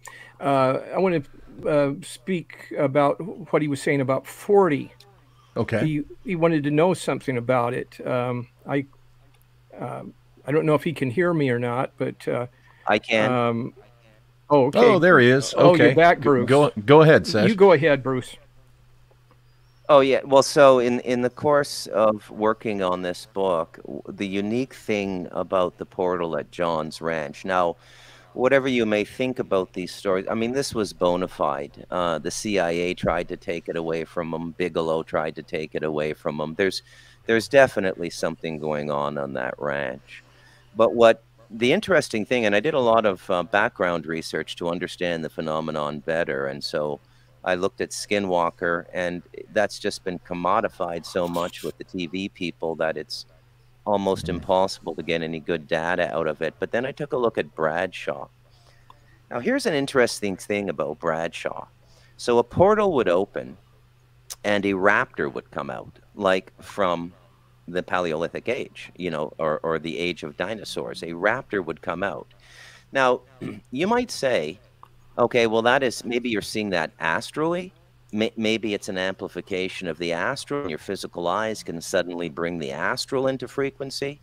But the raptor moves around for a little while, goes back into the portal and and you we get some breaking up again. Sorry about but that. But he doesn't Bruce. want that out. Maybe that's it. Maybe he's talking a little too too much there about uh, in some true things. Um, Okay, you back with us, Bruce? Yeah, yeah I really us? do apologize. Oh no, no I, worries. I don't we, know if I. Yeah, you are know, breaking up. Podcast okay, let me.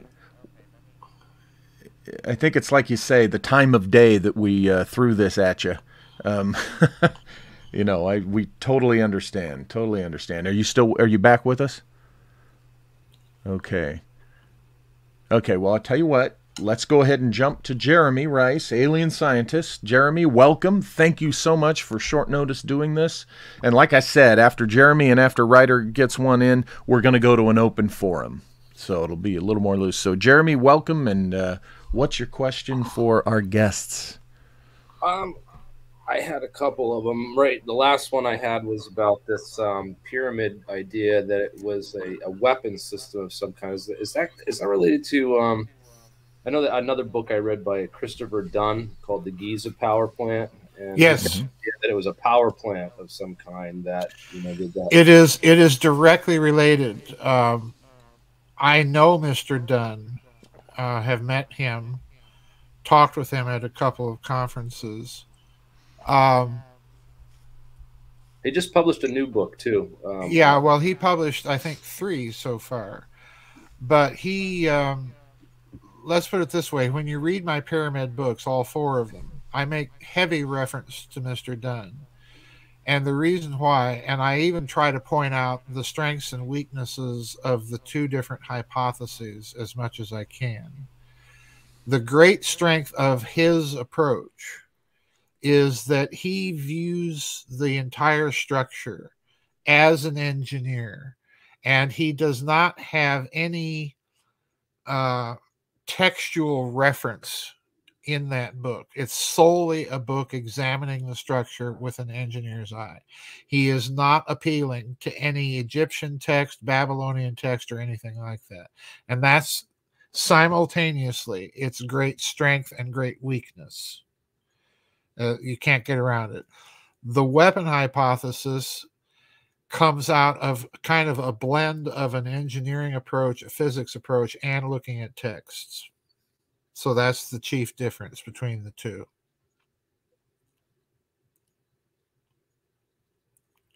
Sorry, I had my cough button on, my mute. Okay, okay. Well, Ryder, what's your uh, first question? And then after this, we'll go into that open forum and you guys can just have at these guys. Ryder? Thanks so much for having me on. It's been uh, been listening since the beginning, and uh, good to see you, Joseph, Sesh, um, Walter, Nano Girl, Bruce, and Alien Scientist. Appreciate you guys a lot. So, Dr. Farrell, you've been mentioning that these uh, megalithic structures, and specifically the Giza pyramid, is a a weapon system of sort. And let me stop you. Let me stop you. I have never said the other pyramids are part of a weapon system. They may be, right? But I have not said that. Um, I have hinted in a couple of books that they might be. But the weapon hypothesis, I, I point this out once again the weapon hypothesis is restricted to the Great Pyramid. And the reason why is it is a sui generis structure. Even when you compare it to all the massive engineering in the other pyramids, it by far excels all of them.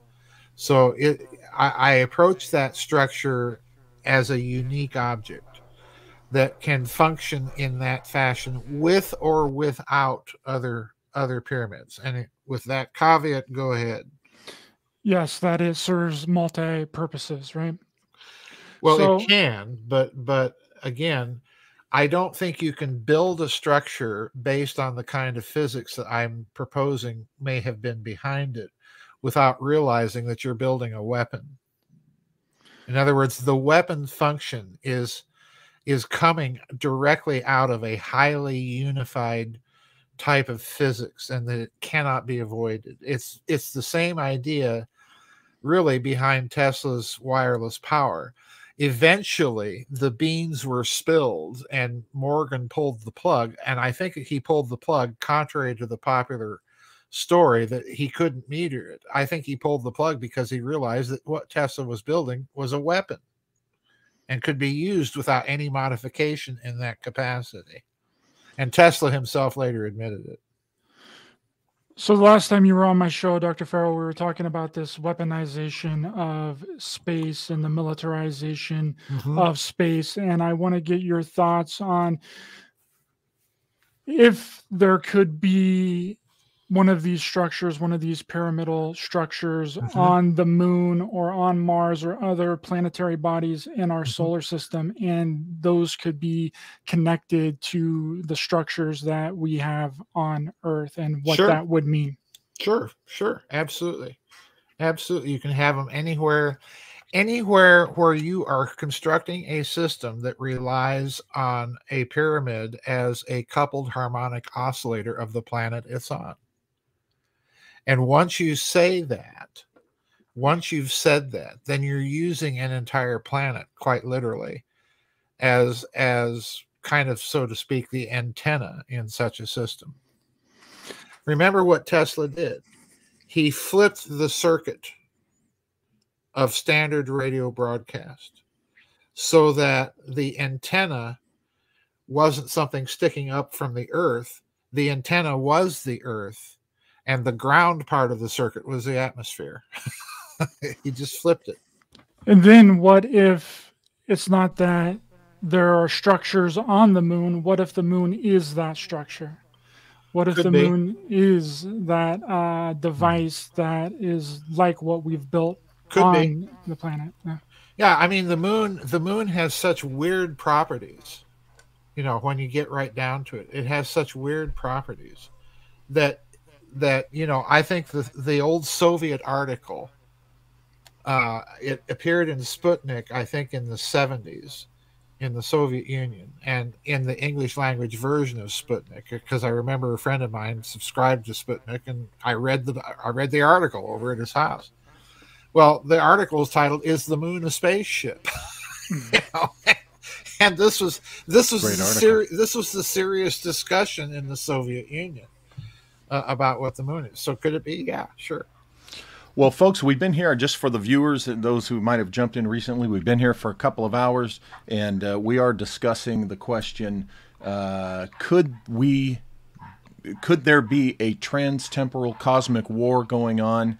And so we're going to an open forum with our uh, panel here uh, to per- continue pursuing this uh, topic. So, um, panel, I invite you to just jump in with uh, your questions to uh, Sesh Heri and Dr. Farrell. Um, and so, in, in talking about that, um, I'm really glad you brought up the Mandela effects and CERN and the testing. And it's I, there's no way I can prove this, but I often get a sense that the people who are ever running things from behind the scenes have a foreknowledge of how things are going to roll out and how we're going to respond.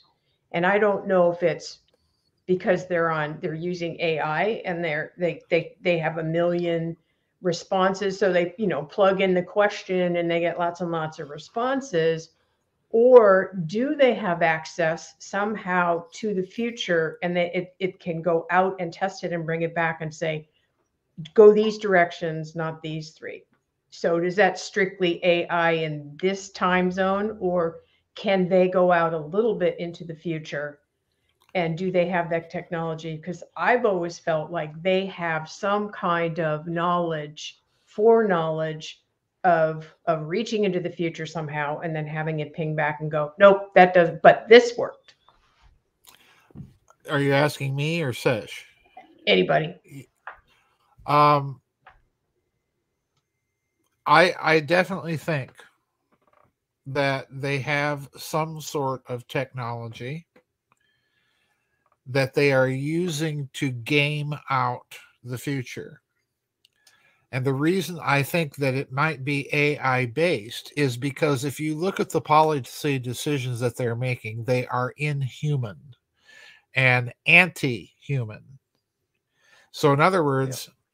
It looks to me like if you want confirmation of, of an AI being the direction behind the technocrats and politicians, just look at their policy.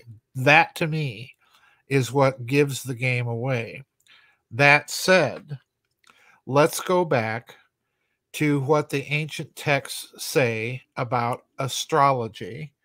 And let's remember why bankers have joined the Society for the Study of Cycles, which incidentally was a society created under the Hoover administration in this country.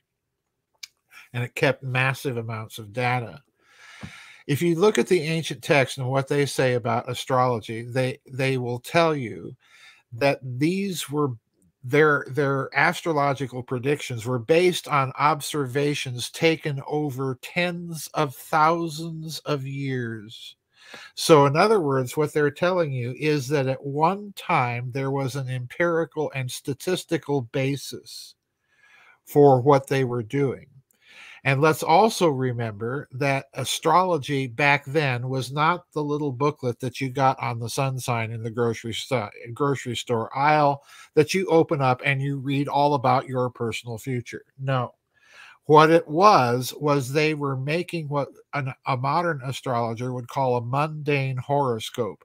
They were making a prediction for a king or a queen, and therefore for a whole group of people. In other words, they were, again, basing this on a statistical, empirical point of view. So, in other words, do I think that there are people now gaming out with super sophisticated computer programs these types of predictions? Yes, I do. Are they basing policy on it? I think they are. Uh, look at how screwed up our markets are, Nano Girl.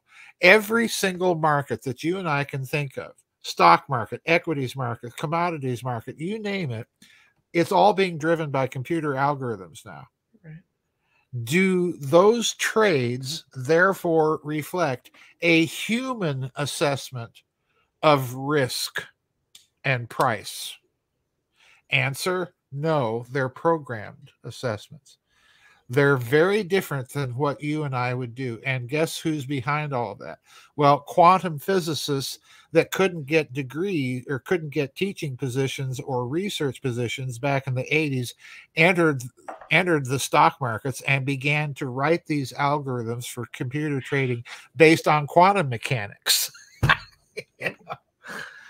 Oh, talk about nutty.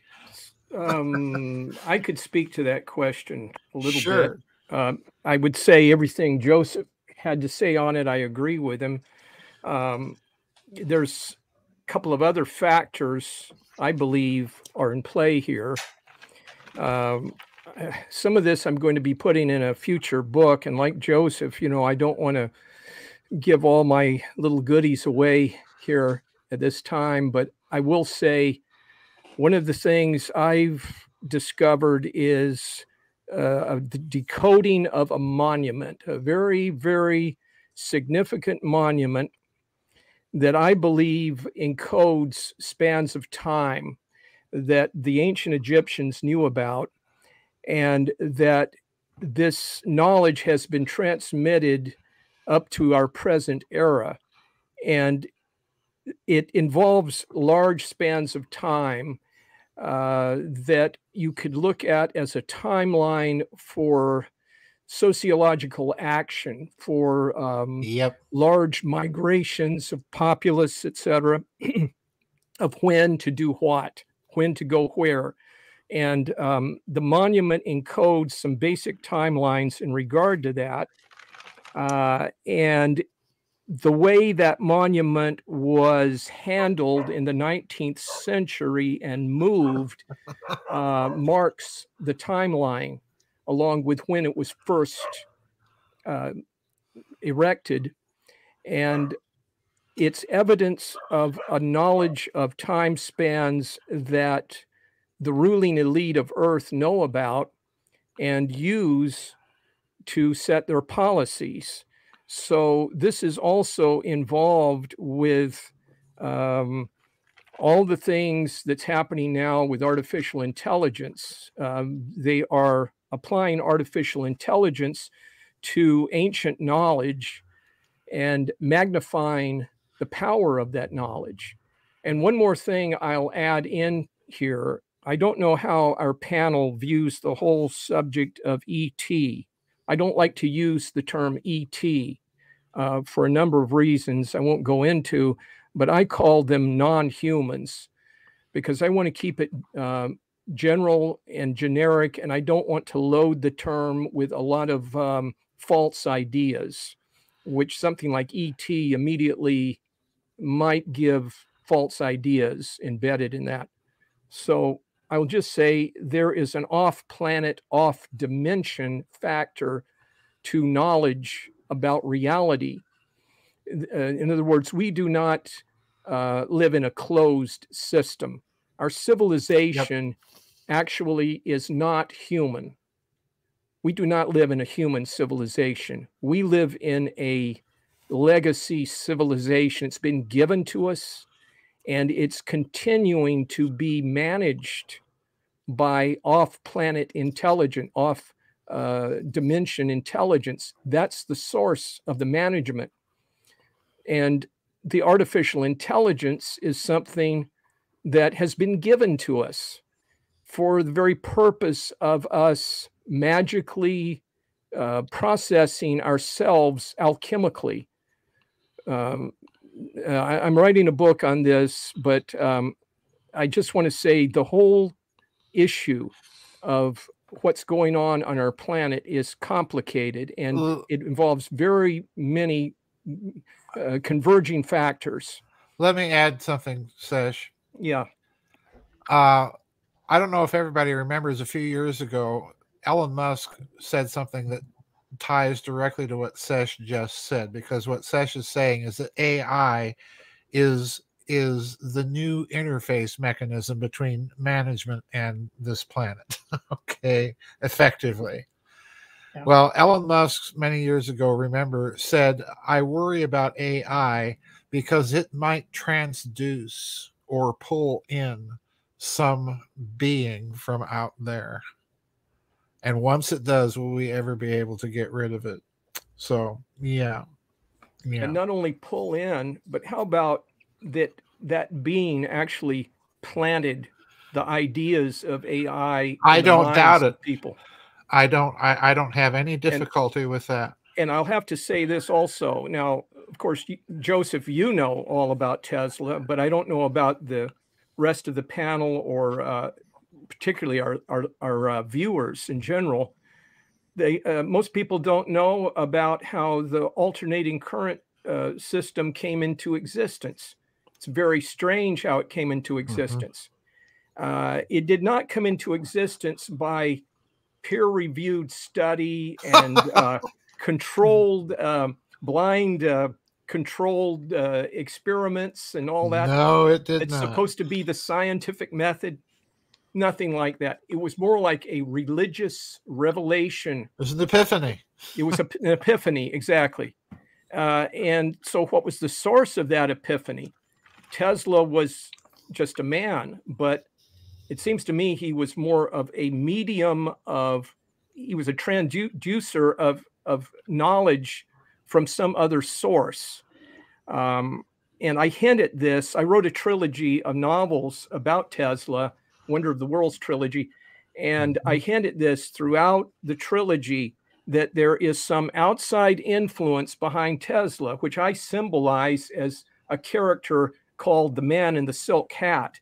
And uh, uh, this is my idea that our technology has been given to us, first of all, uh, long ago. Well, let's go back. It was given to us in the form of the gift of fire, as in the Promethean legend.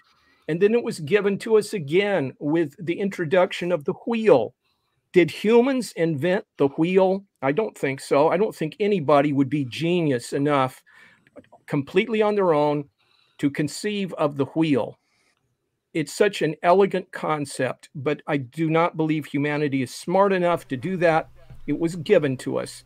And again and again, uh, technology was given to us. So it wasn't just a case of what Zecharia Sitchin's talking about with uh, the Sumerian civilization, which there were many gifts involved with that civilization, but it it's been an ongoing thing and it's and it's coming from a very high kind of intelligence because um, what I'm postulating here is an intelligence spanning millions of years, literally, and certainly mm. hundreds of thousands of years with man, sure. introduction of fire, the wheel, etc. And then you have the Sumerian civilization, right. and um, on up to the 20th century and the development of the computer.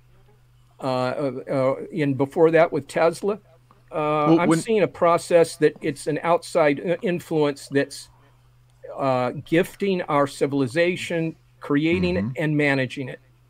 Yeah. Well, when you're talking about epiphanies and almost spiritual level, it, it, this makes me think of you know kind of where Bruce was going. Bruce, what do you think about what session? Well, I mean, it's it's not you, you you guys are such eggheads. You bring everything into a scientific paradigm. It's not just science and math. I mean, where did traditional Chinese medicine and Ayurvedic medicine come from? We know mm-hmm. where Western medicine came from. The ghoul called Da Vinci was digging up fresh corpses and dissecting them, and he was a master etcher. So we got anatomy, mm-hmm. which springboarded the allopathic medical system. So explain to me how the internal med- medical systems, how could the Chinese preserve, uh, interpret the energy going through the body, the chi?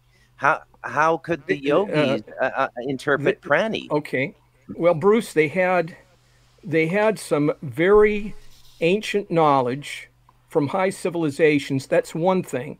But I'd also like to bring up the issue of the and excuse me, I'm not going to get the pronunciation of this well, word, keep, ayahuasca. You, you keep, I, I, don't mean to cut you off, but it's important okay. that I do it at this point because we're we're entering into a.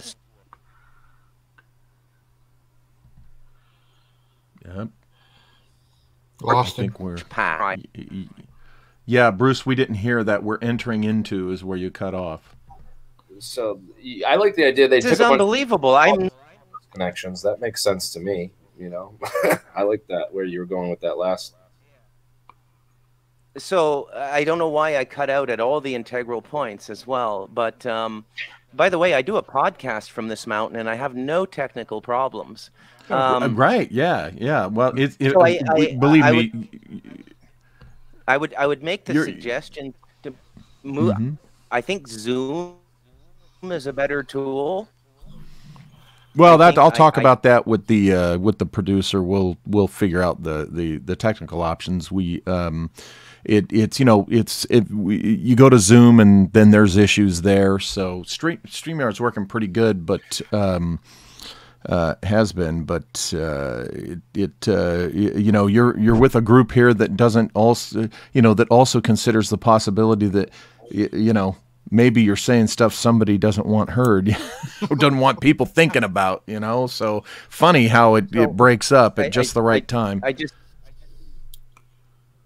I, I just want to make sure that this last point is taken and it gets out clearly. Yes. So, yes. Sesh, you keep promoting this idea of a knowledge torch passing, okay? Mm-hmm. But I, I, yes. I would I, I think epiphany, intuition, and the Tesla model of divine knowledge is much more important, and we all do it well, in our lives. We've all used, yes, I, agree. All used intuition. It's it's part of a bigger picture. I agree with what you're saying, uh, and I was going to add to that. Um, uh, the ayahuasca drug in South America, um, that's a whole subject to itself.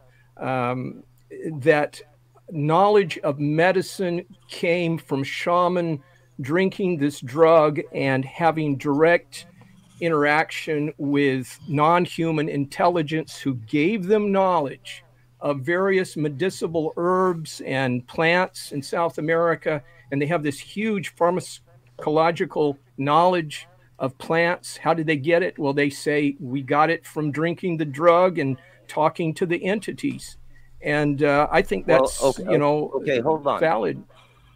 You got you you you you actually got that wrong. The knowledge on, okay. on that was brought to us by by National Geographic's explorer in residence, yeah. a Canadian guy by the name yeah. of Wade Davis. Okay, he was one. He went over there with a bunch of eggheads from Ivy League school. Am I breaking up again? Nope. Go ahead. Okay. So Wade Davis went over and lived in the rainforest, and then after what he saw was going on, he brought over some some chemists and postdoctoral fellows from Ivy League schools in the United States. They literally could not believe what these shaman were doing because the yeah. formula to create ayahuasca is so refined, both in, both in terms of the preparation of the material, the quantities, the temperature of the fire, it, like you would be this what the scientists noted is that it would be difficult to replicate in a controlled laboratory with a Bunsen burner, and the shamans were doing yeah. it over coals. and so, right, you, you said the shaman drank the liquid and spoke. Well, how did they how did they get the recipe to drink the to make the liquid? So it's a good Wade question. Davis, well, Wade David Wade Davis asked them, and you know what they said? Yes. What? The plants speak to us in our dreams. Yes, Mm-hmm. I believe that's true. Okay. All right. Yes. Yes, the dreams are another pathway. This is what I'm saying, Bruce, that if you want to look at the big picture, there are all kinds of pathways to knowledge. And this these are some of the pathways and uh, and uh, re- direct knowledge is there and uh, I'm fully aware of that. I've had my own personal experiences with direct knowledge and I have a great deal of respect for it. I do also have a respect for something they call the scientific method, but it really doesn't exist. There is no such thing as the scientific method. Uh, it's a myth. Um, there are various strategies of testing that scientists use, um, and people assume, oh, they have this thing that's scientific method, and you do you do this little formula, and you come uh, you get truth out of that, but it's Well, not that way at all. I get the the the antecedent of formula is ritual. And and we're getting very True, close to yeah. that point Arth- Arthur C. Clarke spoke about where you're not going to be able to tell the difference between magic and science. Right, right, So it, it, it it's coming full circle, right? yeah, And and you know, ritual is a sequence of steps timed, right? It, it could be a lunar Right. timing. You know, it's in blood magic, it's in chaos magic, it's in everything. And then basically we get the scientific method out out of magic. And so science is an extension of magic in many ways. Right? yes, it is. And you got the two uh, principal science. languages. You, you have our linguistic structures. We use spoken language to release energy, to express our emotions and our ideas. We use math to contain energy. So the numerical languages box energy in, which explains why the universe is mathematical. Well, And- you know, the split, Bruce, the split occurred with Sir Isaac Newton, who was both an alchemist and, as they claim, the first scientist. So, what he did was he stripped all of the intuitive and consciousness aspects of what you're talking about in magic and bottled it up in the Principia Mathematica. So, um, you know, there's all kind of pathways to truth. And I respect those pathways, but what I don't respect is the pseudo pathways where people make claims that they have had some kind of revelation when they have not. And then we get the Jim Jones and we get the Heaven's Gate and we get all kinds of terrible cults and false belief systems and new age belief systems that don't hold water we have to use our reasoning minds. I have a great respect for the reasoning mind as a check and balance on all forms of information. And to just say, uh, I'm just going to go with intuition and revelation and forget that other stuff, I think it's a huge mistake. Well, I Well, I, well, I, Jeremy, I never oh, said go it- ahead, Bruce. I never said I never said it was it was the be all and end all, but it needs Yes. to be integrated into rational processes. and Yes, it needs exactly. to be, it needs to be acknowledged. That is and true. you know, every everybody, you know, I live in a rather primitive society now. I I'm so far up into the jungle. My neighbors are Cape, a Cabécar tribe, which is a traditional living Central American tribe, and um, I can tell you that nobody thinks like us. Okay, and uh, I, I lived in Taiwan from '92 to '94, and the Chinese they can get the engineering degrees and everything, but they don't let go of the other stuff. That you know, it's not. It, there's there's there's no conflict for them. They can remain Buddhist and and Taoist and continue on in the rationalist side. What we've done is in the west in the West is we've thrown the baby out with the bathwater. Okay, Mhm. and and, Yes. and it's produced basically this this cult culture we now live in, dominated by sexual dysphoria, chaos, fiscal irresponsibility, and as uh, Dr. Farrell has referred to a couple of times, outright genocide at this point. And these are the these are the natural consequences of boxing yourself into a rational subject object methodology for culture you you kill the soul when you do that and the gateway to the soul is imagination Yes, I agree Yeah, with you. Bruce. True. I true. think that's very true. Yeah. Jeremy, I know that uh, in the last several minutes, Bruce, Sesh, Joseph, we, there's been a number of things hit on that I know I can just guess from your perspective. You got a couple of questions. Um, well, one thing I wanted to say about Sesh, uh, Newton was the first physicist. Da Vinci was actually considered the first scientist, I believe. So, um, but Newton Hey, was, I don't know the difference. Can you explain that to me? What's the difference between a physicist and a scientist? Maybe well, Joseph scientist uh, generally looks at all all science. Oh, um, so physics, now you're saying Da Vinci was the first physicist? Is that what No, I'm no, hearing?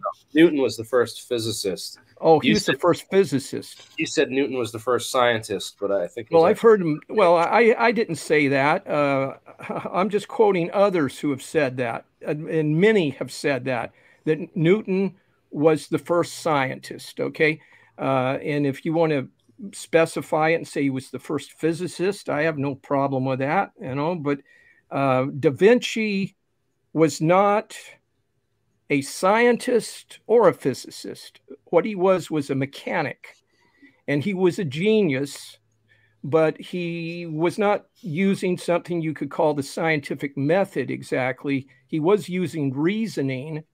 Um, but in my opinion, about uh, Leonardo da Vinci, who I think was an extraordinary individual, um, most of his of the inventions that um, are ascribed to him, particularly out of the Codex Atlanticus, were not his inventions. They were a legacy from literally Atlantis, what we call Atlantis. Um, and there, and I'm going to go into this in my book, but I'll say it here for your benefit and others that uh, uh, a thing happened back in the early 20th century when they were going through the Codex Atlanticus. They came upon a page in it uh, and they realized that it had been glued together. Uh, do you know this story, Joseph? Uh, vaguely. Okay, well, I'll go on then. Uh, this page, uh, when they pried it apart, there was a drawing on the back of the paper. Uh, you know, paper was expensive back then, and they they didn't throw paper away. You know, and if you scribbled something on a piece of paper and it was blank on the other side, you're going to use it. And Da Vinci found a piece of paper that had something drawn on the other side, and he used it. And then he glued it into the Codex Atlanticus. In other words, he was saying whatever's on the other side's not important. It's just scribbling. Well, what it was was a drawing of a bicycle, a chain-driven bicycle, but it had a lot of problems with it. Um, for example, the chain, the, the links in the chain were square instead of round. They couldn't move uh, the steering wheel was rigid. It was made all of one piece. It couldn't turn. You couldn't steer this bicycle and you couldn't move it forward with the chain drive because it couldn't work. And uh, somebody had done did a drawing of this. Now, in every other respect, that bicycle looked like a perfectly good bicycle of the 19th century when bicycles started being built and uh, developed. And they realized well this was was not da vinci who drew this. They figured out they assumed it was Salai, one of uh, da vinci's assistants. And that's the way they dismissed it. But what i think happened was uh, it was a, an assistant of da vinci who made this drawing but what he did he came upon some material that Da Vinci had. Now, one might argue that it was an actual drawing that Da Vinci did of an invention of the bicycle. Leonardo da Vinci invents the bicycle, the chain driven bicycle. That's one explanation. The other is that Da Vinci had access to a secret archive of knowledge. And one of the things he had was a picture of a chain driven bicycle. And uh, he did not do anything with that. He did a lot of other things with other drawings that he had. He tried to build models of these other drawings. And this is what grew out, uh, created the Codex Atlanticus. But the bicycle went by the wayside. So Salai comes along and he tries to copy the drawing. But he doesn't, he's never seen a bicycle before. He doesn't know how it works. He doesn't understand it. So he just draws the shapes but he gets some of the shapes wrong as someone copying, not understanding what their drawing would do. So he he he gets the chain part right, but he he gets the links wrong. Instead of round links, he doesn't understand the importance of how it works. So he says, "Oh, I'll just make them square." And then the the steering, he doesn't get the idea that that's the steering mechanism, and he just makes that all one piece. In other words, the Codex Atlanticus is the result of a secret archive of knowledge um, that Leonardo da Vinci received from some place that I would speculate may have come out of the Vatican's archives through the Medicis. And they were giving him this information to develop it and to figure out what are we going to develop with this uh, legacy and what are we going to hold back? And it, that was his job to go through that and figure it out. They were planning the future. And so some of those things were trial balloons. He put it out and he named it Codex Atlanticus. Why did he name it that? Because that's what it is. It's from Atlantis. Uh, and so when you're telling me that Da Vinci was a scientist or a physicist I would have to say no, he was not. He was a mechanic. He was a great artist who I really admire, a very intelligent, talented man, but no, he was not a physicist. He was not of that era when the when when the, the, the body of knowledge began to be developed to reason things out and to use mathematics to create models. Uh, it was just forming. Galileo was doing some of this work, you know, with inclined planes and such. But it wasn't until Sir Isaac Newton uh, that uh, you could say that there was really a science. So that's why it's not me saying that Sir Isaac Newton was the first scientist. That is what, that is the uh, conventional wisdom of scientific historians. They say Sir Isaac Newton was the first scientist. Well, I knew Newton was the first physicist because he's the first one to take Leibniz's calculus and actually apply it to you know falling bodies and other things like that, and show well, that hey, they fall he, the same. He didn't really take Leibniz's calculus; they were both working on it at the same time. Uh, let me weigh in here, please. Okay. Yes, please do. Um, John Maynard Keynes says, said that uh, Sir Isaac Newton was the last of the Sumerians. Yes.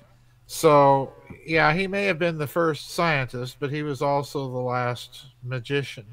Yes, I agree. Now, was, uh, regarding the calculus. Yeah. Uh, let's be very blunt here. No one in the world uses Newton's notation for the calculus. Newton had one, and it's as cumbersome as all get out. And quite frankly, I suspect that the man wasn't being entirely honest. Ah. Okay.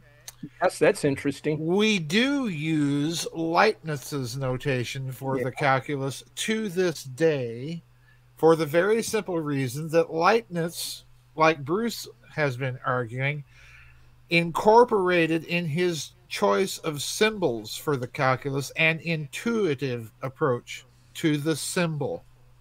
That's why we use the long S's for summations and so on and so forth. So we still use Leibniz's notation conventions for the calculus. I, I challenge anybody here on the panel or listening go online and look up Newton's calculus and his notation and try to use it. And then look how Newton solved problems with it. And you will be absolutely dumbfounded at the extra steps involved in trying to manipulate that cumbersome mess. whereas, whereas Leibniz is as elegant and easy and clearly understood as can be. And let's remember something else about Leibniz. Since we're talking about language, Leibniz wanted to invent uh, what he called the Characteristica Universalis, a calculus that was able to obtain by means of an algebra a calculation of things that could not be quantified. Now, this is way beyond symbolic logic in his thinking. He's he's mm-hmm. talking about something I think that uh, approximates my idea of an analogical calculus. I was just going to say that. Yeah, that's exactly yeah. what he's. He called it. Yep. He also called it analysis situ, analysis of the situation. Oh my! Yeah, a topological so, analysis. A topologic. Yeah, this guy is way beyond Isaac Newton. Yeah. just I'm sorry, folks. Well, I, am not a Newton fan. And, right. And I... one one I'm not done. Okay. One final thing I want to talk about is that if you want to know what Newton did that that began the modern world, I do agree with you in one major respect. Newton changes the metaphor of of cosmo of cosmology from organism to mechanism. And if we look at the ancient physics, if you will, if we look at that ancient model of the universe, it's organism, not mechanism. And that has all the, I can't emphasize how profound a change that is. And uh, it's huge and th- I think you know you've said it much better than I could, but that's exactly what I was trying to get at. This mechanistic view of the universe is it's what hideous. Uh, N- Newton uh, introduced, and yep. um, uh, I think that was intentional. And I also think yep. that that was not uh, Newton's doing as an individual. He was a front man for other people. Agreed. Uh, and um, and you know he um, he all that material, all that those inventions. He's a Newton's, front man, yeah. meaning no offense to certain individuals here. He's a front man for a secret society that likes to think in terms of building buildings. Yes. and, yes, exactly. Okay, and, that's exactly what he's doing. Yeah, that's exactly what he's yeah. doing. It doesn't yeah. take a hobbit to figure out that riddle. it, does, it doesn't take a hobbit to figure. No, no offense, Walter. But no, this this is this is what he's fronting for. He's fronting uh. for that vision of the world, and I think there is a huge, you know, in terms of our cosmic war hypothesis, uh, a transtemporal hypothesis. There is a huge culture war going on in Europe at this time. And it's this culture war between the old cosmology, which has its last dying breath in, in the Baroque era, and the new emerging cosmology that you see happening with the Royal Society in England and then forward. And mm-hmm. people like Descartes in some kind of weird, uncomfortable middle ground between someone like a Leibniz and someone like a Newton, and then the whole thing, the whole thing. By the time you get to the late Enlightenment, you you have definitely the, the mechanistic people winning out. Um, yeah, uh, it's a huge cultural shift that's going on. Um, you know, and Bach Bach is not the last, is not the first of the great composers.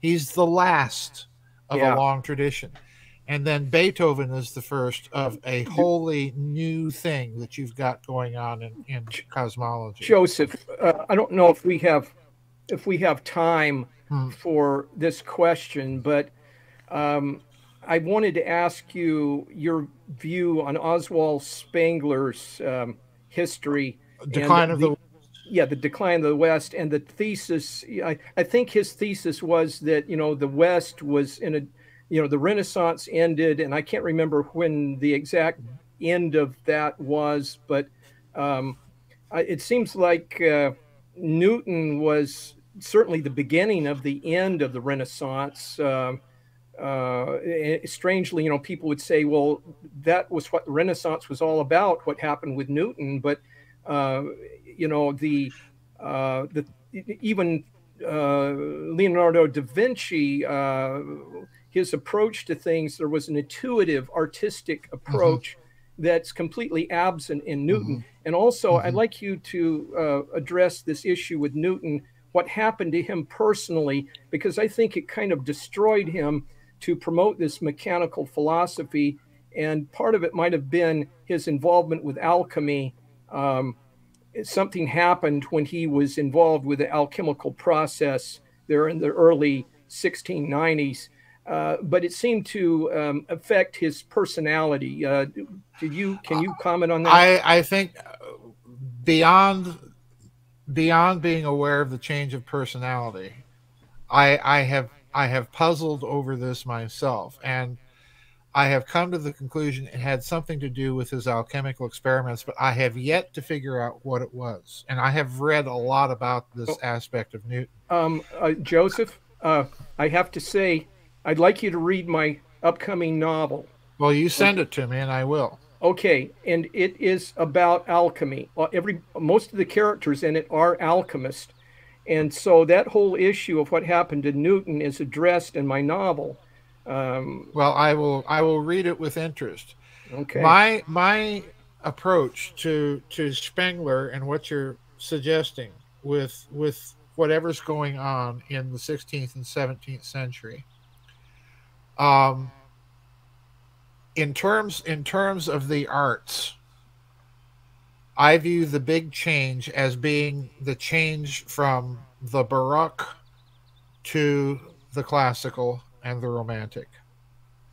In other words, J.S. Bach, Johann Krebs, Georg Friedrich Handel are summing up a tradition.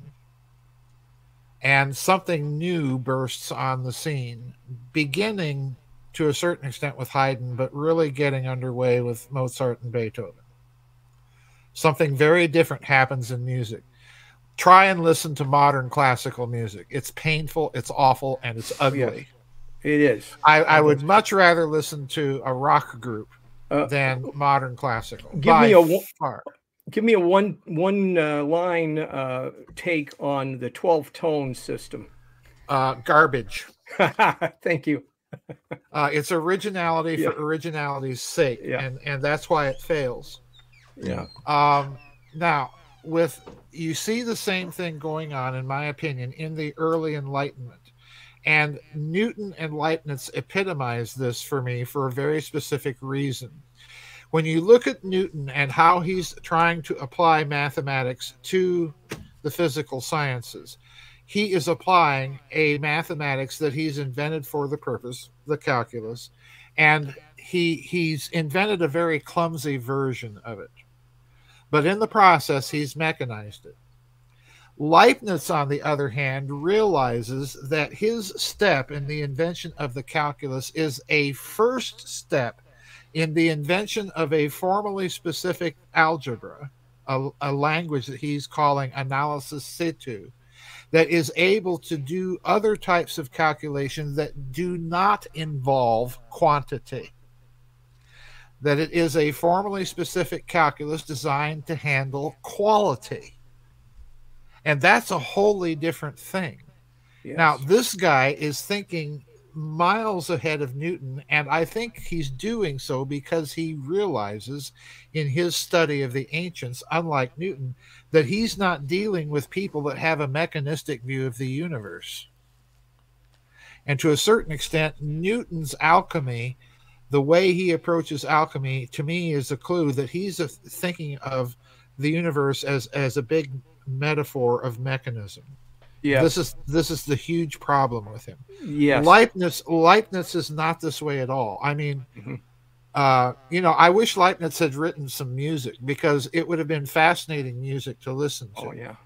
Uh, but he certainly was a, a very different character, and that that Leibnizian impulse in the early Enlightenment basically is put to death. I, I think by you know by the likes of Immanuel Kant and Arthur yeah. Schopenhauer and that whole you know that whole crowd. Yeah, yeah. Mm-hmm.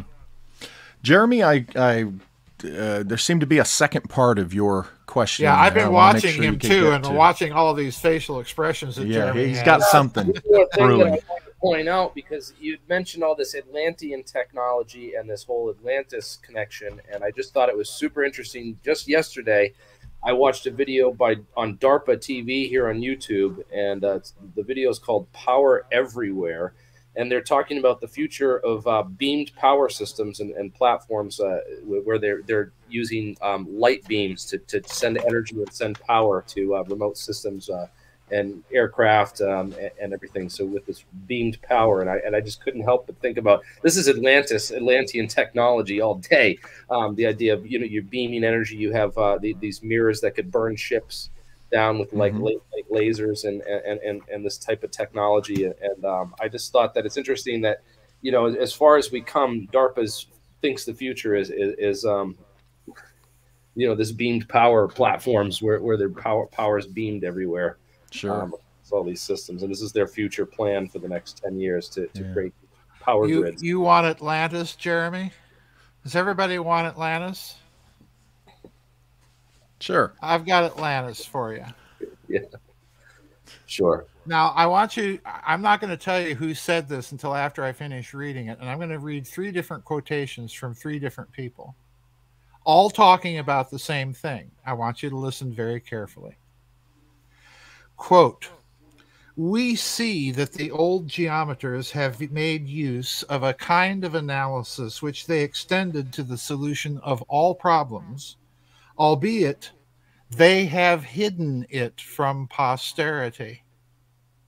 I well realize that they must have known a kind of mathematics that was very different from today's common one. Hmm. Not that I think they knew it perfectly. And indeed, some traces of this true mathematics seem to me still to appear in Pappus and Diophantus, who, though not belonging to the most ancient ages, lived many centuries before our times. I would also think that later on it was suppressed by its very authors because of a certain wicked slyness. Unquote. Guess who? Rene Descartes. My goodness. Now listen. Quotation number two quote, To be sure, the ancients' method is more elegant by far than the Cartesian one. For Descartes achieved the result by an algebraic calculus which, when transfused into words, following the practice of the ancients in their writings, would prove to be so tedious and entangled as to provoke nausea. Nor might it be understood but they accomplished it by certain simple propositions, judging that nothing written in a different style was worthy to be read, and in consequence, concealing the analysis by which they found their construction. Unquote. Guess who? Isaac Newton. And now here's the pièce de résistance. this one, this one is um, the big one. Quote The ancients seem to have recognized and possessed such an analysis proper to geometry, for in their works I think I can make out some vestiges of it, namely, of an algebra in which numbers are not the issue. Certainly, it is by this art that they unfolded those propositions. Otherwise, we would not have had them for such a long time, which only with difficulty would we find using our modern methods. I think I've attained and discovered the foundation and first lineaments of this art with which, once we have found the right symbols and established some principles, we can obtain everything else by an imitation of calculating and with no need to follow the lines with our imagination, a result which I am not sure the ancients have ever attained. Unquote. Wilhelm Leibniz. So, in other words, all three of the greatest mathematicians of the 17th century are agreed on something, and that is the ancients that they know about have a method of analysis that has been lost or suppressed or hidden. Guess who? and Leibniz goes even further and says, I think I see at least some outlines of what it is. Hmm. This is the man that thought the I Ching could be put into binary representation, folks. okay. Very interesting. Yeah. There so, we go. N- Nano girl, we haven't heard from you in a while. What uh, what do you think of this, or what what have you been thinking about that you want to ask Joseph Sesh Heri? Well, I want to go back a little bit to where you said we have the alien influence, and I know that in different iterations you've all answered this, but what I always come back to is what is my role? Why am I here? You know, mm-hmm. do I have the power to change this? Is that what I should be doing?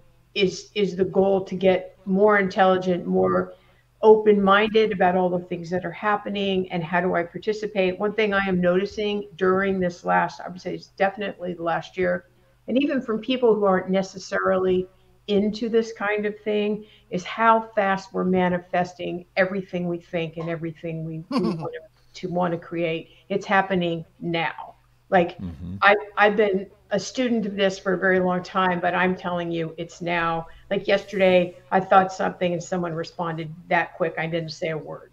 And that's the kind of thing. And so I'm thinking about what are my thoughts? How are my actions? And so how how am I impacting? Can I start to respond to this alien influence? You know, is that my role? Is that why we all, you know, people like us we've come here. So, you know, you bring all these kind of interesting ideas. So I would throw that to all of you. What do you think your role is in response to all of this? Well, to, to tag on to what you're saying there, it, it could be not just, um, you know, alien is one way, but um, it could be perhaps an across time influence on us. You know, there's things other than transtemporal warfare that could be going on with this technology we're talking about. There could also have been some type of zeitgeist influence mechanism um, uh, in which this. Uh, the, the the Great Pyramid or, or, Giza Death Star type technology that you know we're talking about here could uh, could be affecting what you're talking about, Nano Girl. Like maybe it was decided, okay, at this point in the timeline, we want more people to get this concept, and that could have been sent out there uh, across time, you know, as an influence. Uh, what do you what do you guys think about that? Anyway, and can I throw one one more thing? Sure. In, in just tagging what you just said, and. Mm-hmm in some other iteration did we plan to be here to do this, even to the detail of today? So we came together, people like us are coming together because we agreed we would do that. We would run into each other, we would support each other. This is what okay. we are here to do as well. Agree with you 100%. I do this too. is a planned event and at a very high level of the unconscious mind we're all in on it. We're all involved in it. And this is just a model of the larger world. We're all involved in it. And yeah. we all have our role to play in it in sure. our time. Sure. Sure. Ryder, you were going to add something to that? Yes, sir, I was. Um, and I think this goes back to what Sesh was mentioning earlier about this technology or this information given to us. I don't believe that he means that some entity physically came down and give this information to us like a lot of people uh, theorize with the the ancient sumerian tablets right. and stuff like that that these gods physically came here and gave us this technology and i address that work with. Can it's more of a that? consciousness thing it's well, a consciousness uh, manipulation of our consciousness it's kind of um, like the uh, uh, 2001 a space odyssey with the monolith appearing you know the, the, the influence but of the others i think sesh yes. uh, wants to respond to you there i just briefly i want to say uh, the information was transferred in no one particular way um, so don't just think in terms of a mental influence um, i believe artifacts have been sure. have changed hands and i'm that, yeah. In my opinion i'm one of the people who believes that the Roswell incident involved non humans. And I do not believe it was a crash. I believe it was a handing off of technology um, and that it also was an act of ritual magic. So, uh, a very complicated event. And I will be writing about that in my upcoming book. But that's an example of actual tangible, tangible material being handed off. But there are other instances where ideas could be planted in a person's mind in the dream state or in an awake state, as with Tesla. Sure, sure, sure. You just opened uh, up Bruce, a whole I thought I big heard. Go ahead, of worms. You just opened up a big, huge can of worms right there with uh, Dr. Joseph Farrell and the Roswell event. Oh, Oh yes, I know. We have our uh, differences, but and I respect his views, and uh, there are many views out there. But uh, you know, I have my particular views as well, and that's one of them. And uh, I'll be writing about that in my upcoming book. Cool, cool. Bruce, I, I thought I heard you start to jump in with a comment a moment ago. I, I, I, I did. I piped in with um, an I agree with what Ryder was Ah. saying, and and you know this is really about time and temporal warfare. Uh, Um, um, I, I, I did a book with a fellow who uh, is quite adept at reading the Akashic records, Andrew Mm-hmm. Bartzis, and we detailed it quite a bit. That there, there has been a air now, and you know, I mean. Uh, uh,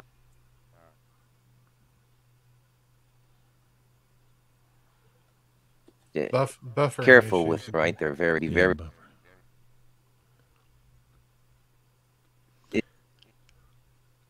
Yeah, I think we got the buffering issue again. but non- nonetheless he could read and that it ended around 2012 and 2014 we were set on a corrective course um, so uh, another thing i want to bring up is a fantastic movie that just came out it's up for a best picture award everything all at once um, Right. which is this idea that you know going back to the first hour of the show before the panel was brought on that time is not linear well if it's not linear everything's happening all at once so you're Right, you're technically we are technically living all of our past lives at the same time right now right Agree with yeah, like And our like like future time.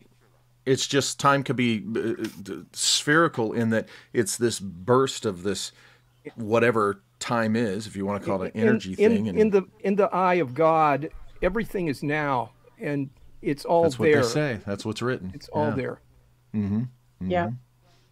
Yeah, and and how whatever we're doing influences the, the future as well as the past, right? And um, I, I I find that's one of the most interesting aspects of being alive, and has been to discover this or to understand it a little bit better. I'm still learning, and how I'm, you know, what is again, what is my role? How am I influencing it? What should I be doing every day?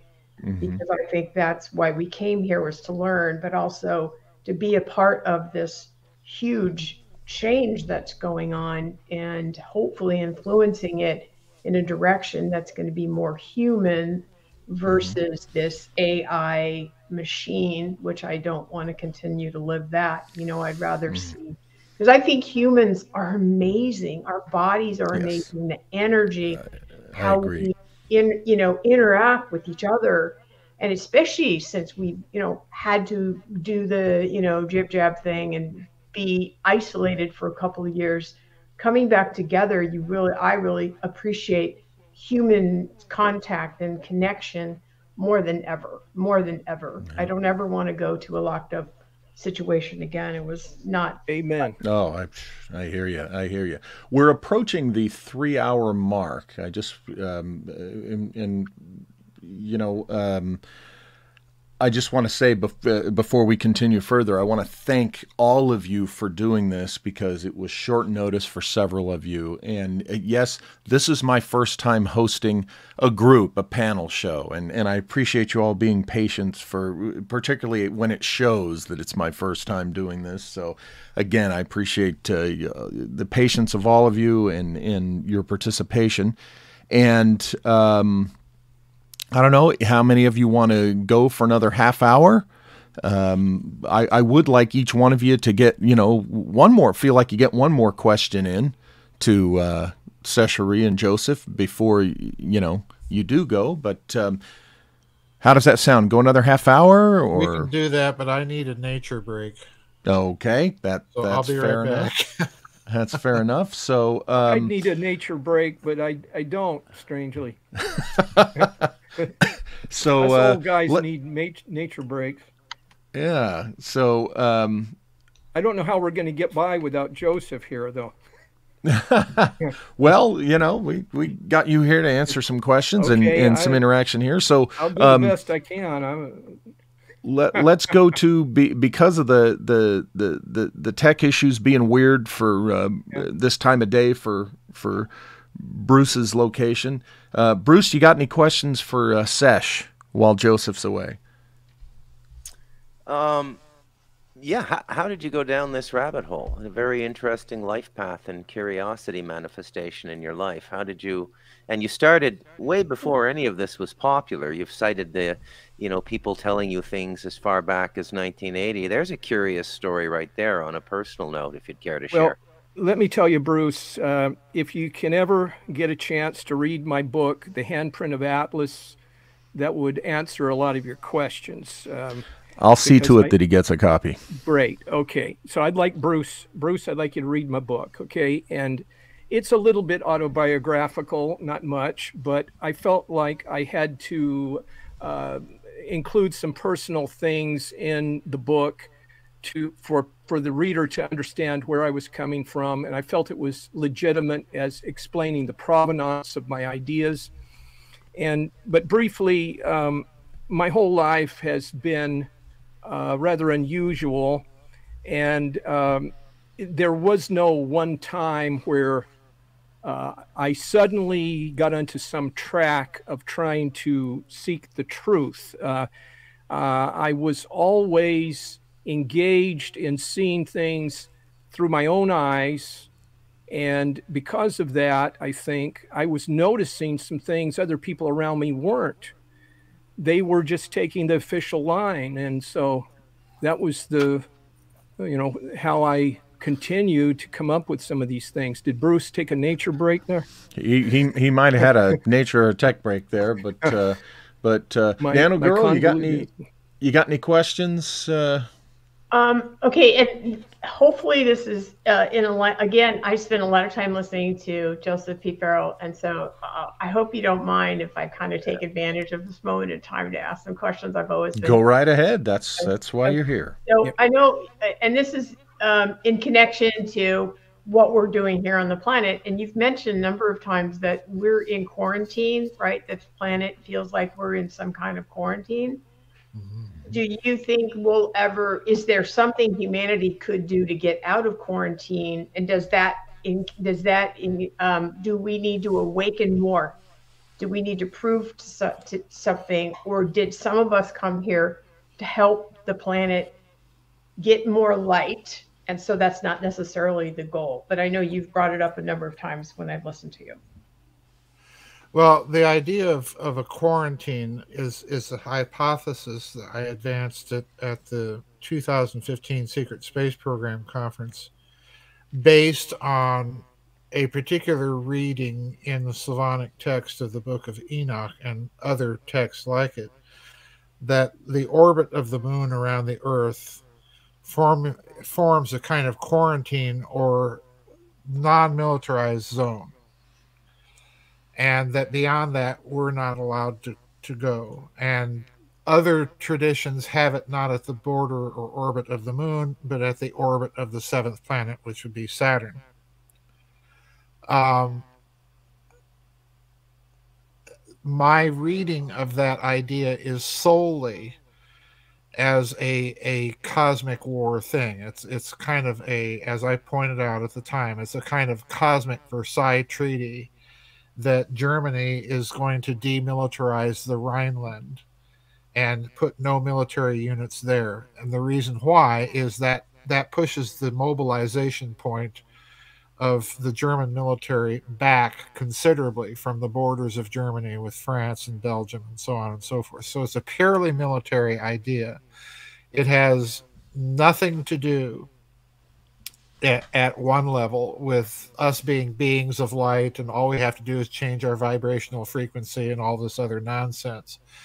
If there is a aspect of that to the quarantine idea, I think it, it boils down to just quit being so warlike and bringing all of your weapons of destruction out here because uh, you know we don't want it.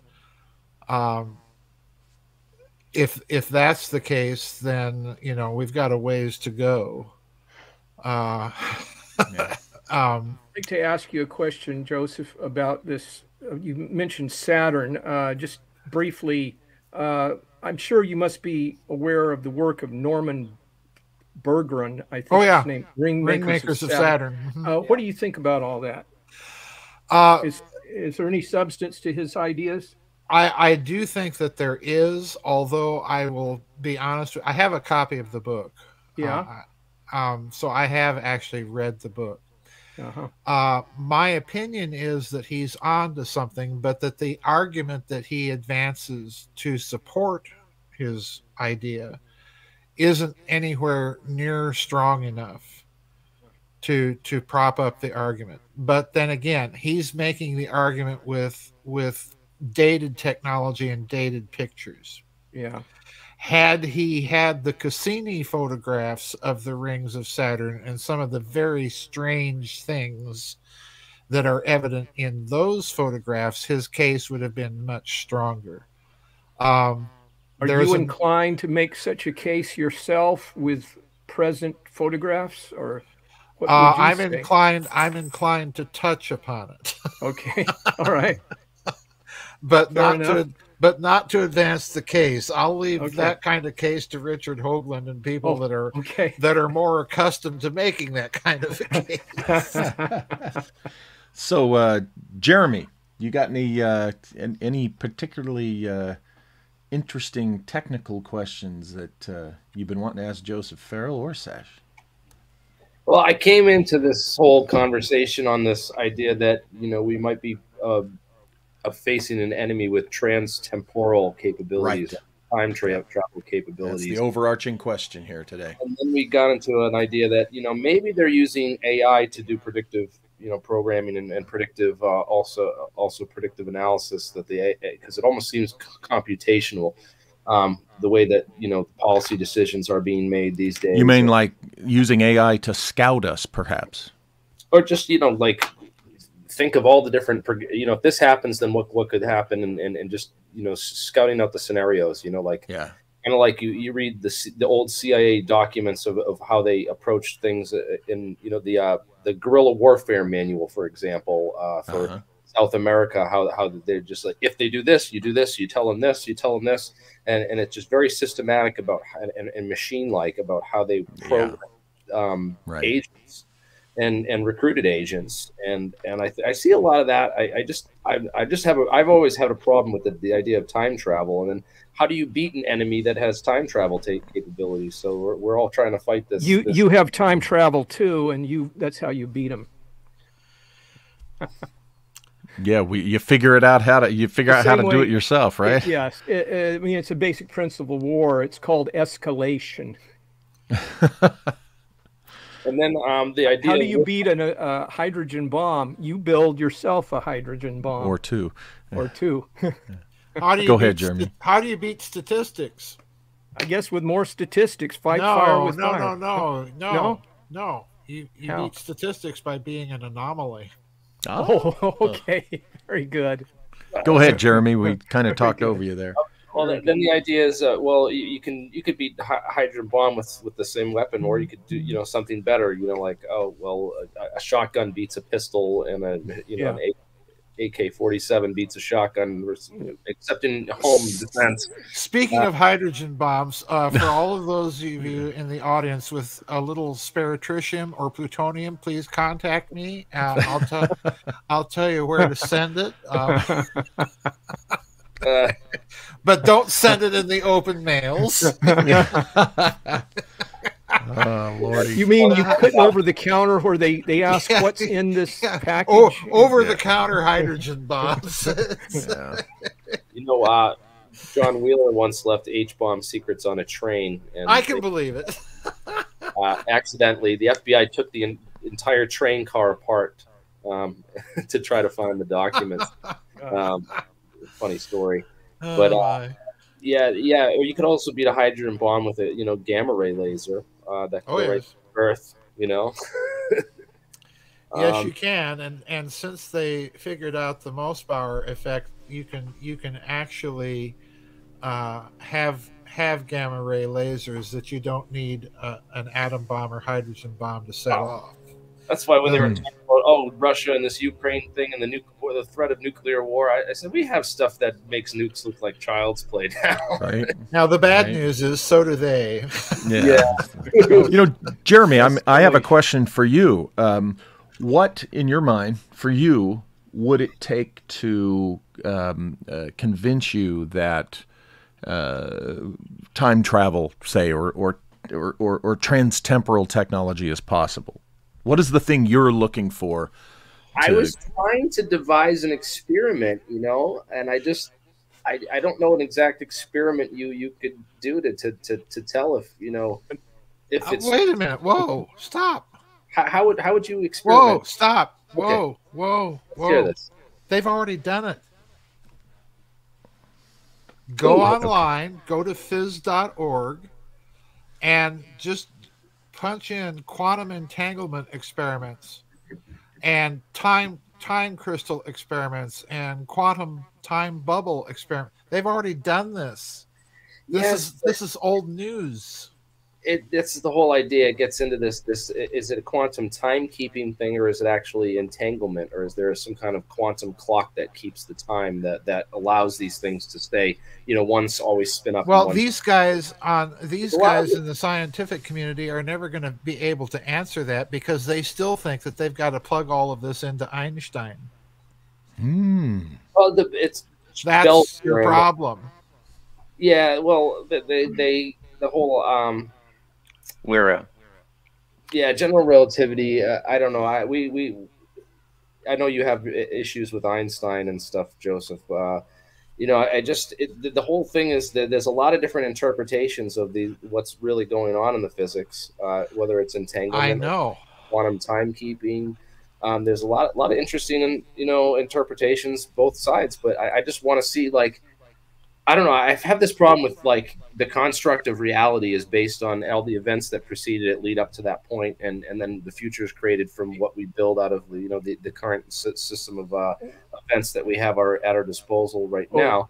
So I just don't understand how you can go back to uh, and change that. It, it just it just violates the whole fabric of reality. Sure does. You know, You know, uh, this reminds me. Now, I think Jeremy's quite emotionally resistant to the idea of time travel. I have a very good friend. Oh, yeah, absolutely. I would I would just oh. off myself if if it Yeah, time I mean, I mean that's a legitimate. that- ended. There's, there's no use living. I would just shoot myself because you could just go back and change anything. Everything. It'd be nutty, reality right? But doesn't exist anymore, and I wouldn't want to live in it. I got no, you. no, that, that- you would not a- be uh, able to do that. That's uh, you're making an assumption there about what time travel does, and Right, but I what I'm trying to get at with the whole idea of a set theory basis for understanding all of this is that that also prohibits you from doing that. Ooh. I don't know because I know a girl who Yeah, it does. in It time prohibits you from travel, I- doing that. I knew a secret space program insider that was a my friend dated her. She was from uh, daughter of a NASA scientist, and and sh- Amy Eskridge. She killed herself, and and she used to always talk about this time travel stuff, and I just thought she was nuts. Um, Well, I'm very sorry Uh, to hear you that. know the um, there is a resistance to the very concept of time travel what i was going to say is i have a very good friend and i was telling him about one of my novels metamorphosis which is all about tr- time travel. And um, he said he wasn't interested in time travel novels because they're boring because time travel is impossible. Uh, and i said you know that's exactly what i used to think. Um, but I've noticed um, now they're on the internet they're talking about the Mandela effect, and one of the aspects of that is a lot of people are getting polarized about it. Uh, and they get very upset. You start talking about the Mandela effect, and they don't want to hear it. They, uh, it's disturbing to them. And I can understand why it could be, but the point is that there is a psychological resistance to even thinking about time travel, and until you get past that, you can't deal with the possibility of time travel in a rational way or look at the evidence that it might be possible. You've got to kind of uh, detach yourself emotionally um, from the phenomenon as it might affect you personally in order to look at it. Uh, until you do that, you're actually blocking information for yourself. You're limiting yourself. You, you know, you've got to. Yeah, I, I, So- I, I, agree with what you said about the cycles and, and this whole idea that well, entanglement. You know, there's this quantum timekeeping across time and space that seems to be you know transverse. You know, even the farthest uh, reaches of the cosmos. Um, and there's this. It's an interesting interpretation of physics. Is that you know there's all these intertwined. Um, it's the same event that's occurring at different times, and, and there's these cycle these cycles that that all add up and occur. So there, there might be some deeper physics in here, but as far as you know, how to cross that boundary in, in you know, I, I know that there's local time travel, but then global affecting a whole universe around you to, to, to have that travel backwards in time. That's a little bit complicated, but they're also Well, this. But this- remember what I said. I said very specifically at the beginning of this talk that that's not what I'm talking about. Hmm. I have said very specifically that the vector of the vector of time cosmologically keeps going in the same direction. But within it you can have localized loops. Okay? And the Yeah. other thing you have to get you have to understand is you cannot model this thinking in terms of standard physics geometry of arrows and so on and so forth that that won't help you hmm. if you start to think of it in terms of elements that comprise an event Yes. and model it as a set. And as a subset of those elements you have elements that are we'll just call it the causational set of that greater set. You can modify the elements that are not part of the causation set and you might even be able to modify one or two elements within the causation set. But to model to modify all of them would produce the paradox. So what i'm trying to do is give you a mathematical analogy and a way of of mathematizing the problem that does not lock you into the grandfather paradox of time travel that comes out of of standard you know talk about time travel and physics. And you'll notice that when you change the mathematical language you change the physics this is this is going back to what my big problem with maxwell has been. There's not a physicist alive right now in graduate school that is using maxwell's original equations these they're using edited versions of linear algebra that was done by and partial differential equations that was done by Oliver Heaviside. Maxwell wrote those equations in quaternion geometry. That's a different ball of fish altogether because the quaternion geometry allows you to have a scalar potential.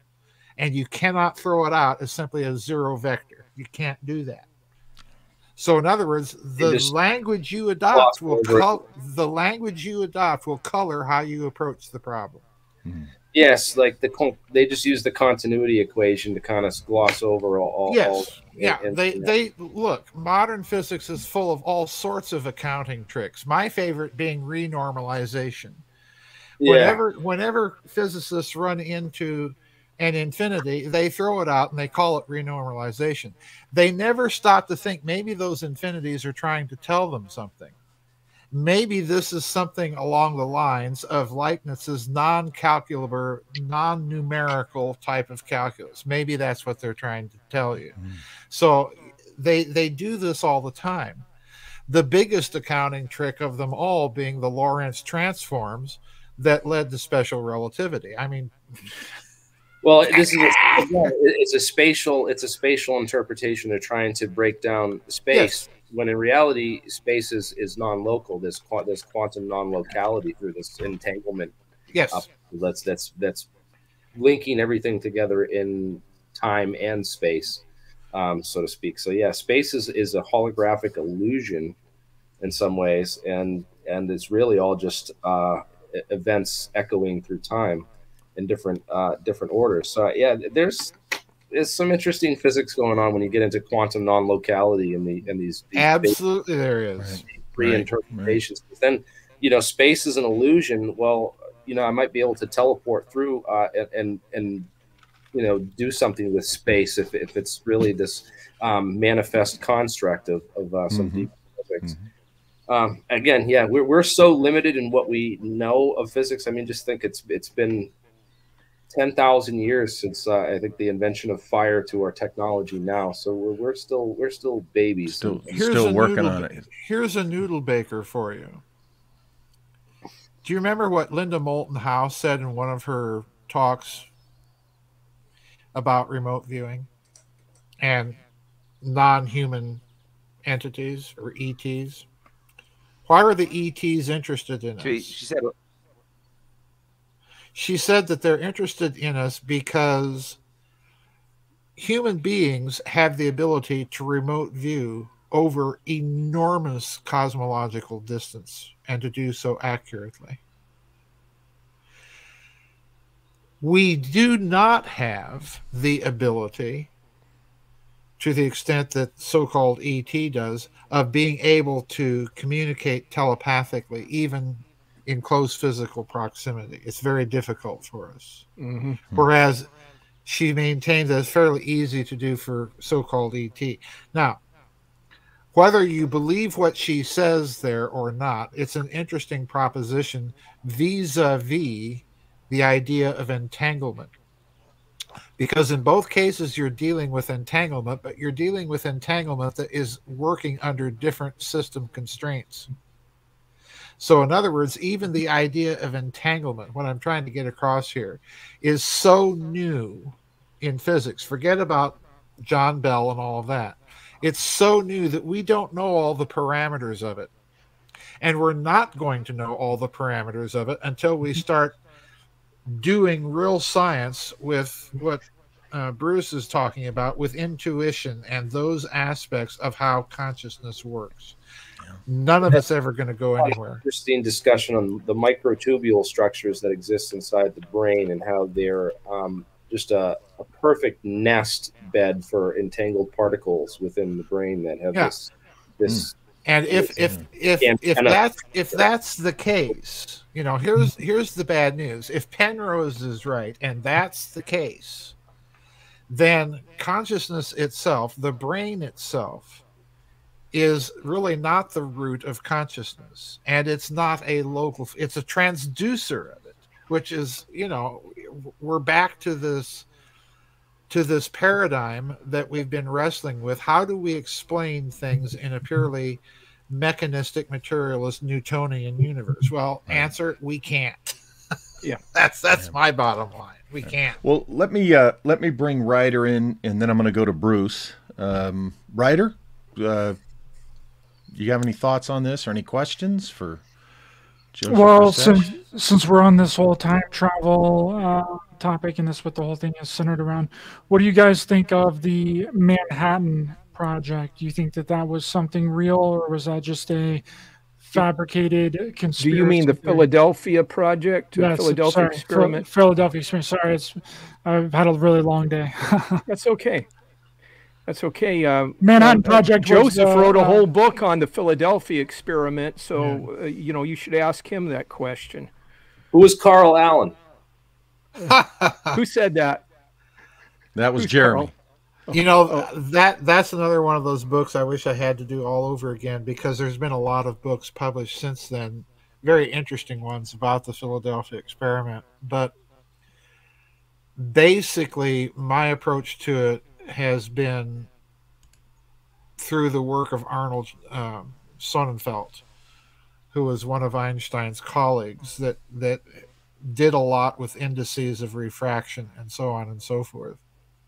And I have little to no doubt that the standard explanation of, of the Philadelphia experiment of degaussing coils along the three axes of the ship were probably the basis of the experiment that they probably used frequency modulation in in the experiment.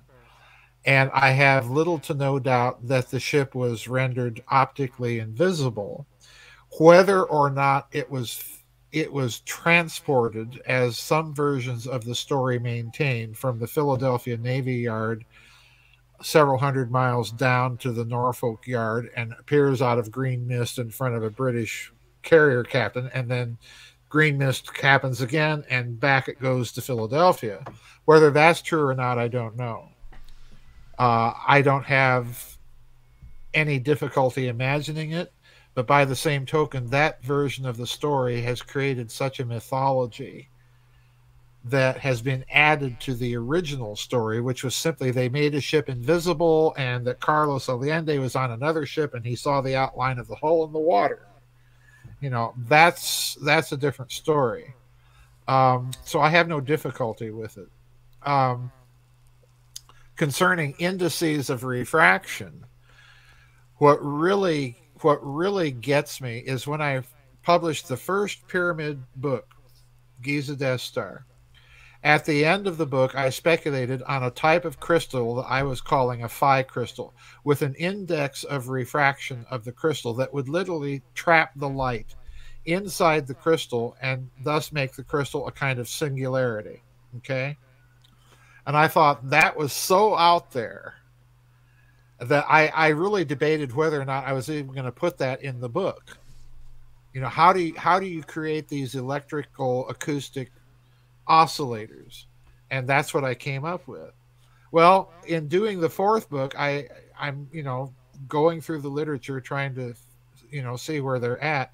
Well lo and behold this is the kind of crystals they're talking about now. Literally crystals that have an, a weird enough index of refraction including negative indices of refraction of all things so that the light literally gets bent in ways that a normal crystal would not do. So we're a short step already away from creating metacrystals that can function like singularities, and on and on we go. black bodies, yeah. Black bodies, yeah, black bodies, and and they're doing weird things with acoustic crystals. I, I mean, just downright weird, just weird. So, so you know, we might we might we might be before the end of the century be dealing with crystals that can literally create a mini singularity. Well, once you've said that, what have you said? You've said space warp. And once you've said that, Pace Einstein, we're in the time dimension again. Yeah. Uh, so, you know, I've Ryder, did that answer your question? Yes, it did, and it's very interesting because uh, Bob Lazar, uh, whatever people think about Bob Lazar, whatever, it doesn't really matter. But he claims that this element 115 thing also reflects refracts light as well. So I, I can really believe that. What I don't sure. believe about what Lazar has been saying about element 115 is the idea that he and and John Lear managed to scrape together enough of it to keep for half an hour at at Lazar's home because the stuff doesn't last that long. it just, it just so, don't last that long. so let's. Uh, I'm going to uh, bring it over to Bruce. Bruce, uh, you're the. Uh, uh, you know, the uh, Walter, question. there was okay. Wait, go ahead, Sesh. You want to throw in there on that? Yeah, I don't know if we have time. Do I have time to? Well, address... we just got a couple. Of, we we just got okay. time for uh, Bruce to ask a okay. question. Let but, Bruce uh, have his question. Go well, ahead, Bruce. Actually, I, I, I will yield to Sesh. Um, this has been a fantastic conversation. I'm. Uh, um, we could go down a whole bunch of rabbit holes. Jeremy yeah. brought up the super soldiers. I had a seventh. I've had a seventh gen up here at this uh, remote uh, place in Costa Rica twice and I've heard all the stories as well. And um, it seems from what they're saying um, that you know the human race is very much involved in this temporal warfare, and um, it's a whole other topic. It's it's uh, very ugly. Comes out of some very dark circles, and and Mhm. maybe it's better for another conversation. But I will I will yield to Sesh and let him uh, let him go. Yeah, I'd like to hear that, Bruce. We need to do another show on this, and Oh, this is just some of that this is just the first of what I hope is is many beginning. on this topic. Uh, Absolutely. I wanted to address the Philadelphia experiment real quick, if I could. Uh, your question there. So, um, I uh, touch upon the Philadelphia experiment in my book, The Handprint of Atlas. Um, and the little bit I know about it, uh, I correlated that with what I was learning with ley lines. That's a Mhm. whole uh, complicated subject to get into, Mhm. but essentially, um, what struck me in the Allende letters, he spoke of uh, this event that it, uh, they call it the Philadelphia experiment. Actually, what Allende claims he saw wasn't even in Philadelphia; it was Right. out in the middle of the ocean. Right. Okay, True. so there are, actually two different events at least. And the other thing is the Philadelphia experiment proper did not occur during World War II. It occurred afterwards. Okay. And Allende had only heard about it as a rumor. Okay. Yes. That, that's one point I wanted to make. That's true. Um, and but it was that rumored event that so interested me because in Allende's letter he said that it occurred uh, with Philadelphia. The, the ship was berthed in Philadelphia and it was transported instantly to Newport News, Virginia. Virginia. Well, I already knew that a ley line, I'll call it a ley line, all right, but it's truly a stress line in the earth. It's created by continental drift, and you can clearly see it on the east coast of the United States. Uh, it forms Delaware Bay. Uh, I think it's Delaware Bay uh, is the uh, body of water there, Philadelphia between Philadelphia and Newport News, uh, and it's a curved line. I already knew about this, and I found it far too coincidental that um, the two nodes on that stress line were Philadelphia and Newport News. Uh, i- this was very much like what Tesla was doing in Colorado Springs, where he was sending energy along a stress line of the Earth that runs basically, it divides the North American continent into two parts. And one of the parts of the stress line runs up to, to Mount Cleveland, and the other one runs down to the mouth of the Rio Grande River.